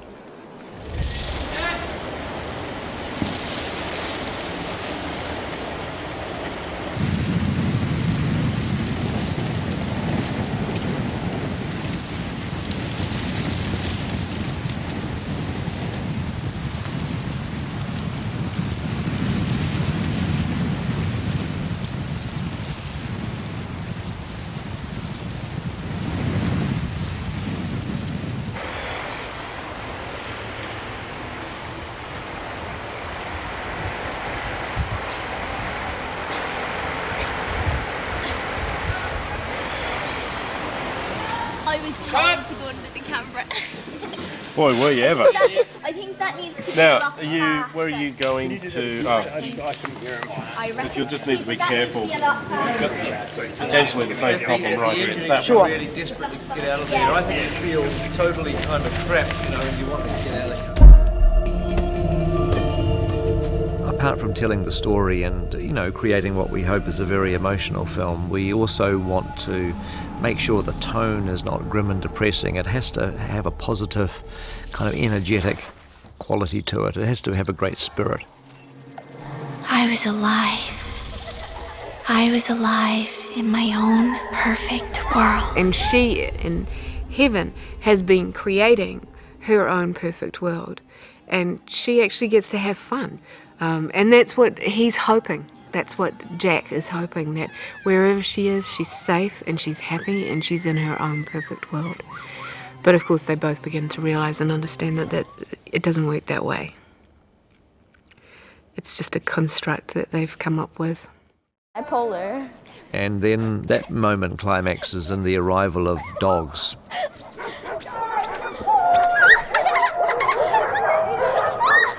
Susie is a dog fanatic, and her heaven and the excitement that she'd feel in her heaven would be reflected in dogs and, and these crazy pack of dogs that come racing in. Actually, Alice loves dogs, which is something she shares with Fran and Pete. Um, uh, they're all mad dog people. And go dogs! So we brought our pugs along, and a lot of the other crew members brought their dogs along too, and we had this absolute hodgepodge of dogs, uh, very, very funny. And we had um, some dog trainers who were doing their very best to sort of contain this, this pack of dogs, which didn't really have any formal training of any sort. Oh, I think he's humping me. And I was finding myself a bit like a stage father, At the camera. Hey, Stanley. a bit obsessed about where my pugs were and whether they were going to get close-ups or not. And I, I jumped over the fence at one stage and, and just grabbed Stanley and tried to feed him in front of the cameras um, so at least Stanley could get a close-up. Fergus, who's a little bit more neurotic than Stanley, was nowhere to be seen. He was off somewhere else, not really enjoying the situation at all. But Stanley's a little bit more outgoing and he managed to feature in a close-up or two. Everyone's looking at me. I feel like I'm on an operation table or something. Yeah.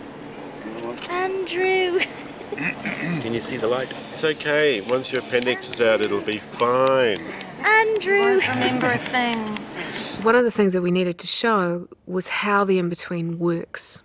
Um, and Fran came up with this amazing idea, which was that what happens on Earth can affect Susie in the in between. That there is this connection, this thread that binds these two states of being together. And there is the moment where Mr. Harvey disposes of her bracelet.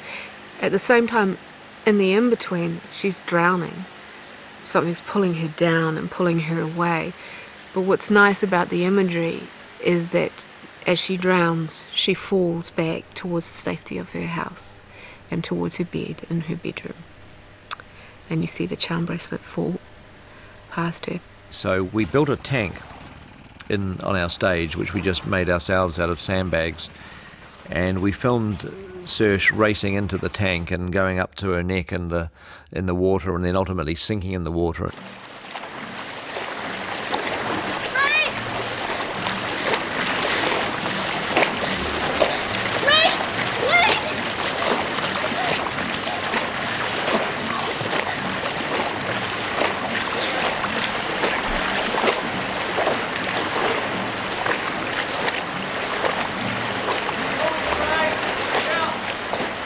Ray, jump! Ray, Ray!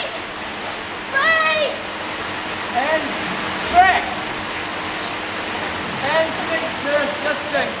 The intention, and it's not going to be easy to do, but the intention is to replace the water with a, with barley and to make the barley break up finally into water drops at the end, um, and she sinks beneath this this sort of sea of waving barley. I- let's, let's check it. I think we've got good stuff there. We,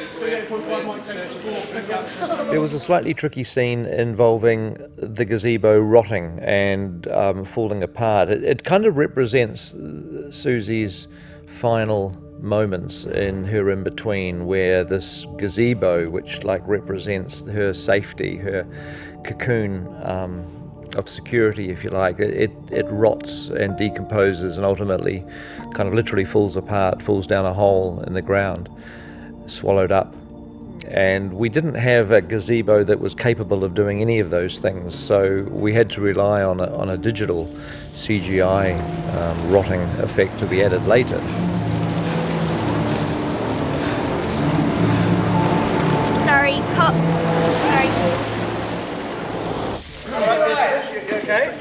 Try to keep those leaves away from you a little bit more? I don't know. Yeah. Can are you, I'm you fine. okay? Yeah, yeah, I'm fine. I'm fine, Brad. No, well, hang on. It's not. No, no, no, Right, I'm fine, I'm we'll try to stop that. Well, Just I'm just after seeing where my body is, which is in a safe, which isn't very And then I nice. thought when we're coming down, I And then suddenly I'm back in the to focus a gazebo, little bit earlier to get and I think because Susie's after making the decision to go and see where her body is, you know, she's able to let this go now, which has been keeping her back. And uh, it's starting to rot away and everything. And she decides to leave. And that's about it. Yeah, no, I mean, For you, this you shot. still go up to that. Dun dun dun. In the end, I love the way Pete intercuts the crumbling of the gazebo with her father's bones being chiseled away by the surgeons. You know, I mean, it's like this is what it has come to. This thing that once represented something so beautiful, which was her love for Ray, has decayed. It's one of those weird situations where what is actually happening in the movie is in no way happening on set. So it's pure 100% imagination is needed from everybody, and obviously Saoirse in particular has to perform these scenes as if she's reacting to the th- decomposing and crumpling of the wood, and she's brilliant at doing that sort of stuff. Some actors struggle if they can't see it in front of them, you know, they can't react to it, and it is amazing that you know there are actors that have real difficulty with that sort of imagination, um, but not Saoirse, thank heavens.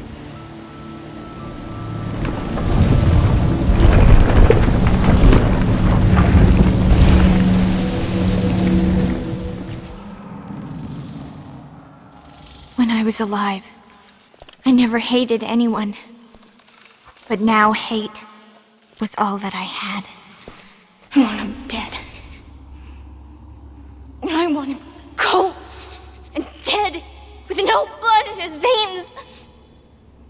There was one last very important dramatic sequence that we shot on our second to last day where we really get a feeling of Susie's hatred now growing and building towards Mr. Harvey. Uh, it was interesting because it was a scene that, that none of us had really, you know, expected to have uh, the impact that it did. Here we were on our second to last day watching uh, Saoirse really turn on her power as uh, an incredible young actor. What do you know? You don't know anything. That man took my life. He took everything away from me. Everything I've ever cared about. Everything I loved.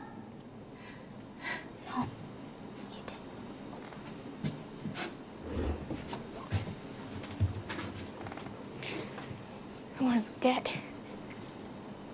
I want him cold and dead with no blood in his veins.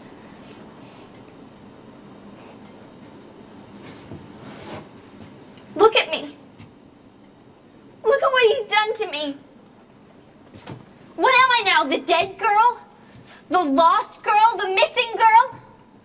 I'm nothing. I was stupid. I was so stupid. You fought him. You fought him as hard as you could. But it wasn't enough.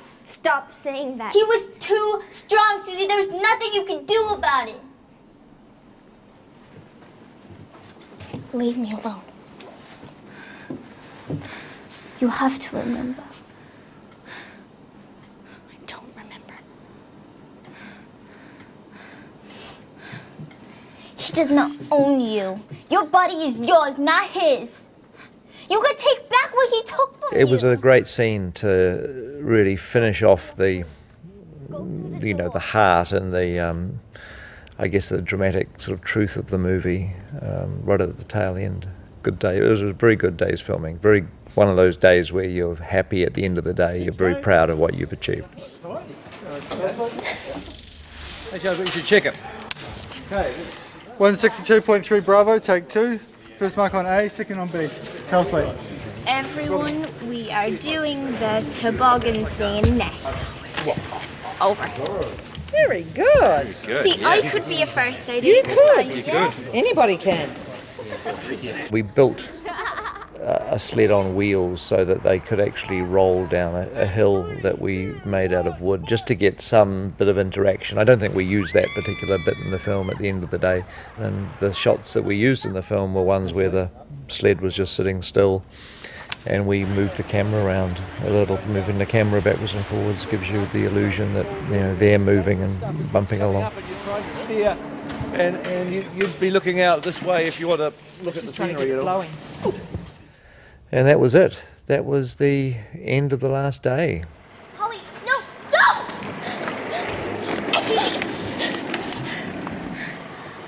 Hey, cut it. That's good. We'll check that. That's good. All right.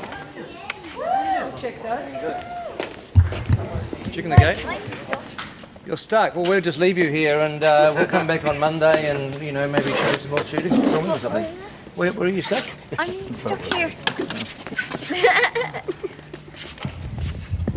I think we bought the coat. Oh, you're going to have to wear that toboggan home, I think. No, wait a There go. minute. And the Oh. other side. No, wait a minute. Not yet. Not yet. There we go. There is no delicate All right. exit from that one. Oh, well, thank you very much. Hey, we're done. Uh,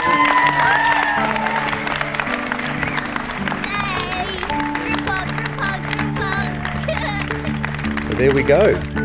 That was us shooting the Lovely Bones. Of course, the movie wasn't finished at that stage. Um, even though we'd done all the filming, there was the editing, the music, the sound effects work, the colour grading that the film goes through, um, the visual effects work that was done at Weta Digital. That's about another year's worth of work that happens. A lot of people involved uh, to get the film ready to be seen in the cinemas. But that'll have to be the subject of another DVD because um, we just wanted to focus this on a very detailed look at the shooting of the film. So I hope you enjoyed that and look forward to seeing you again soon.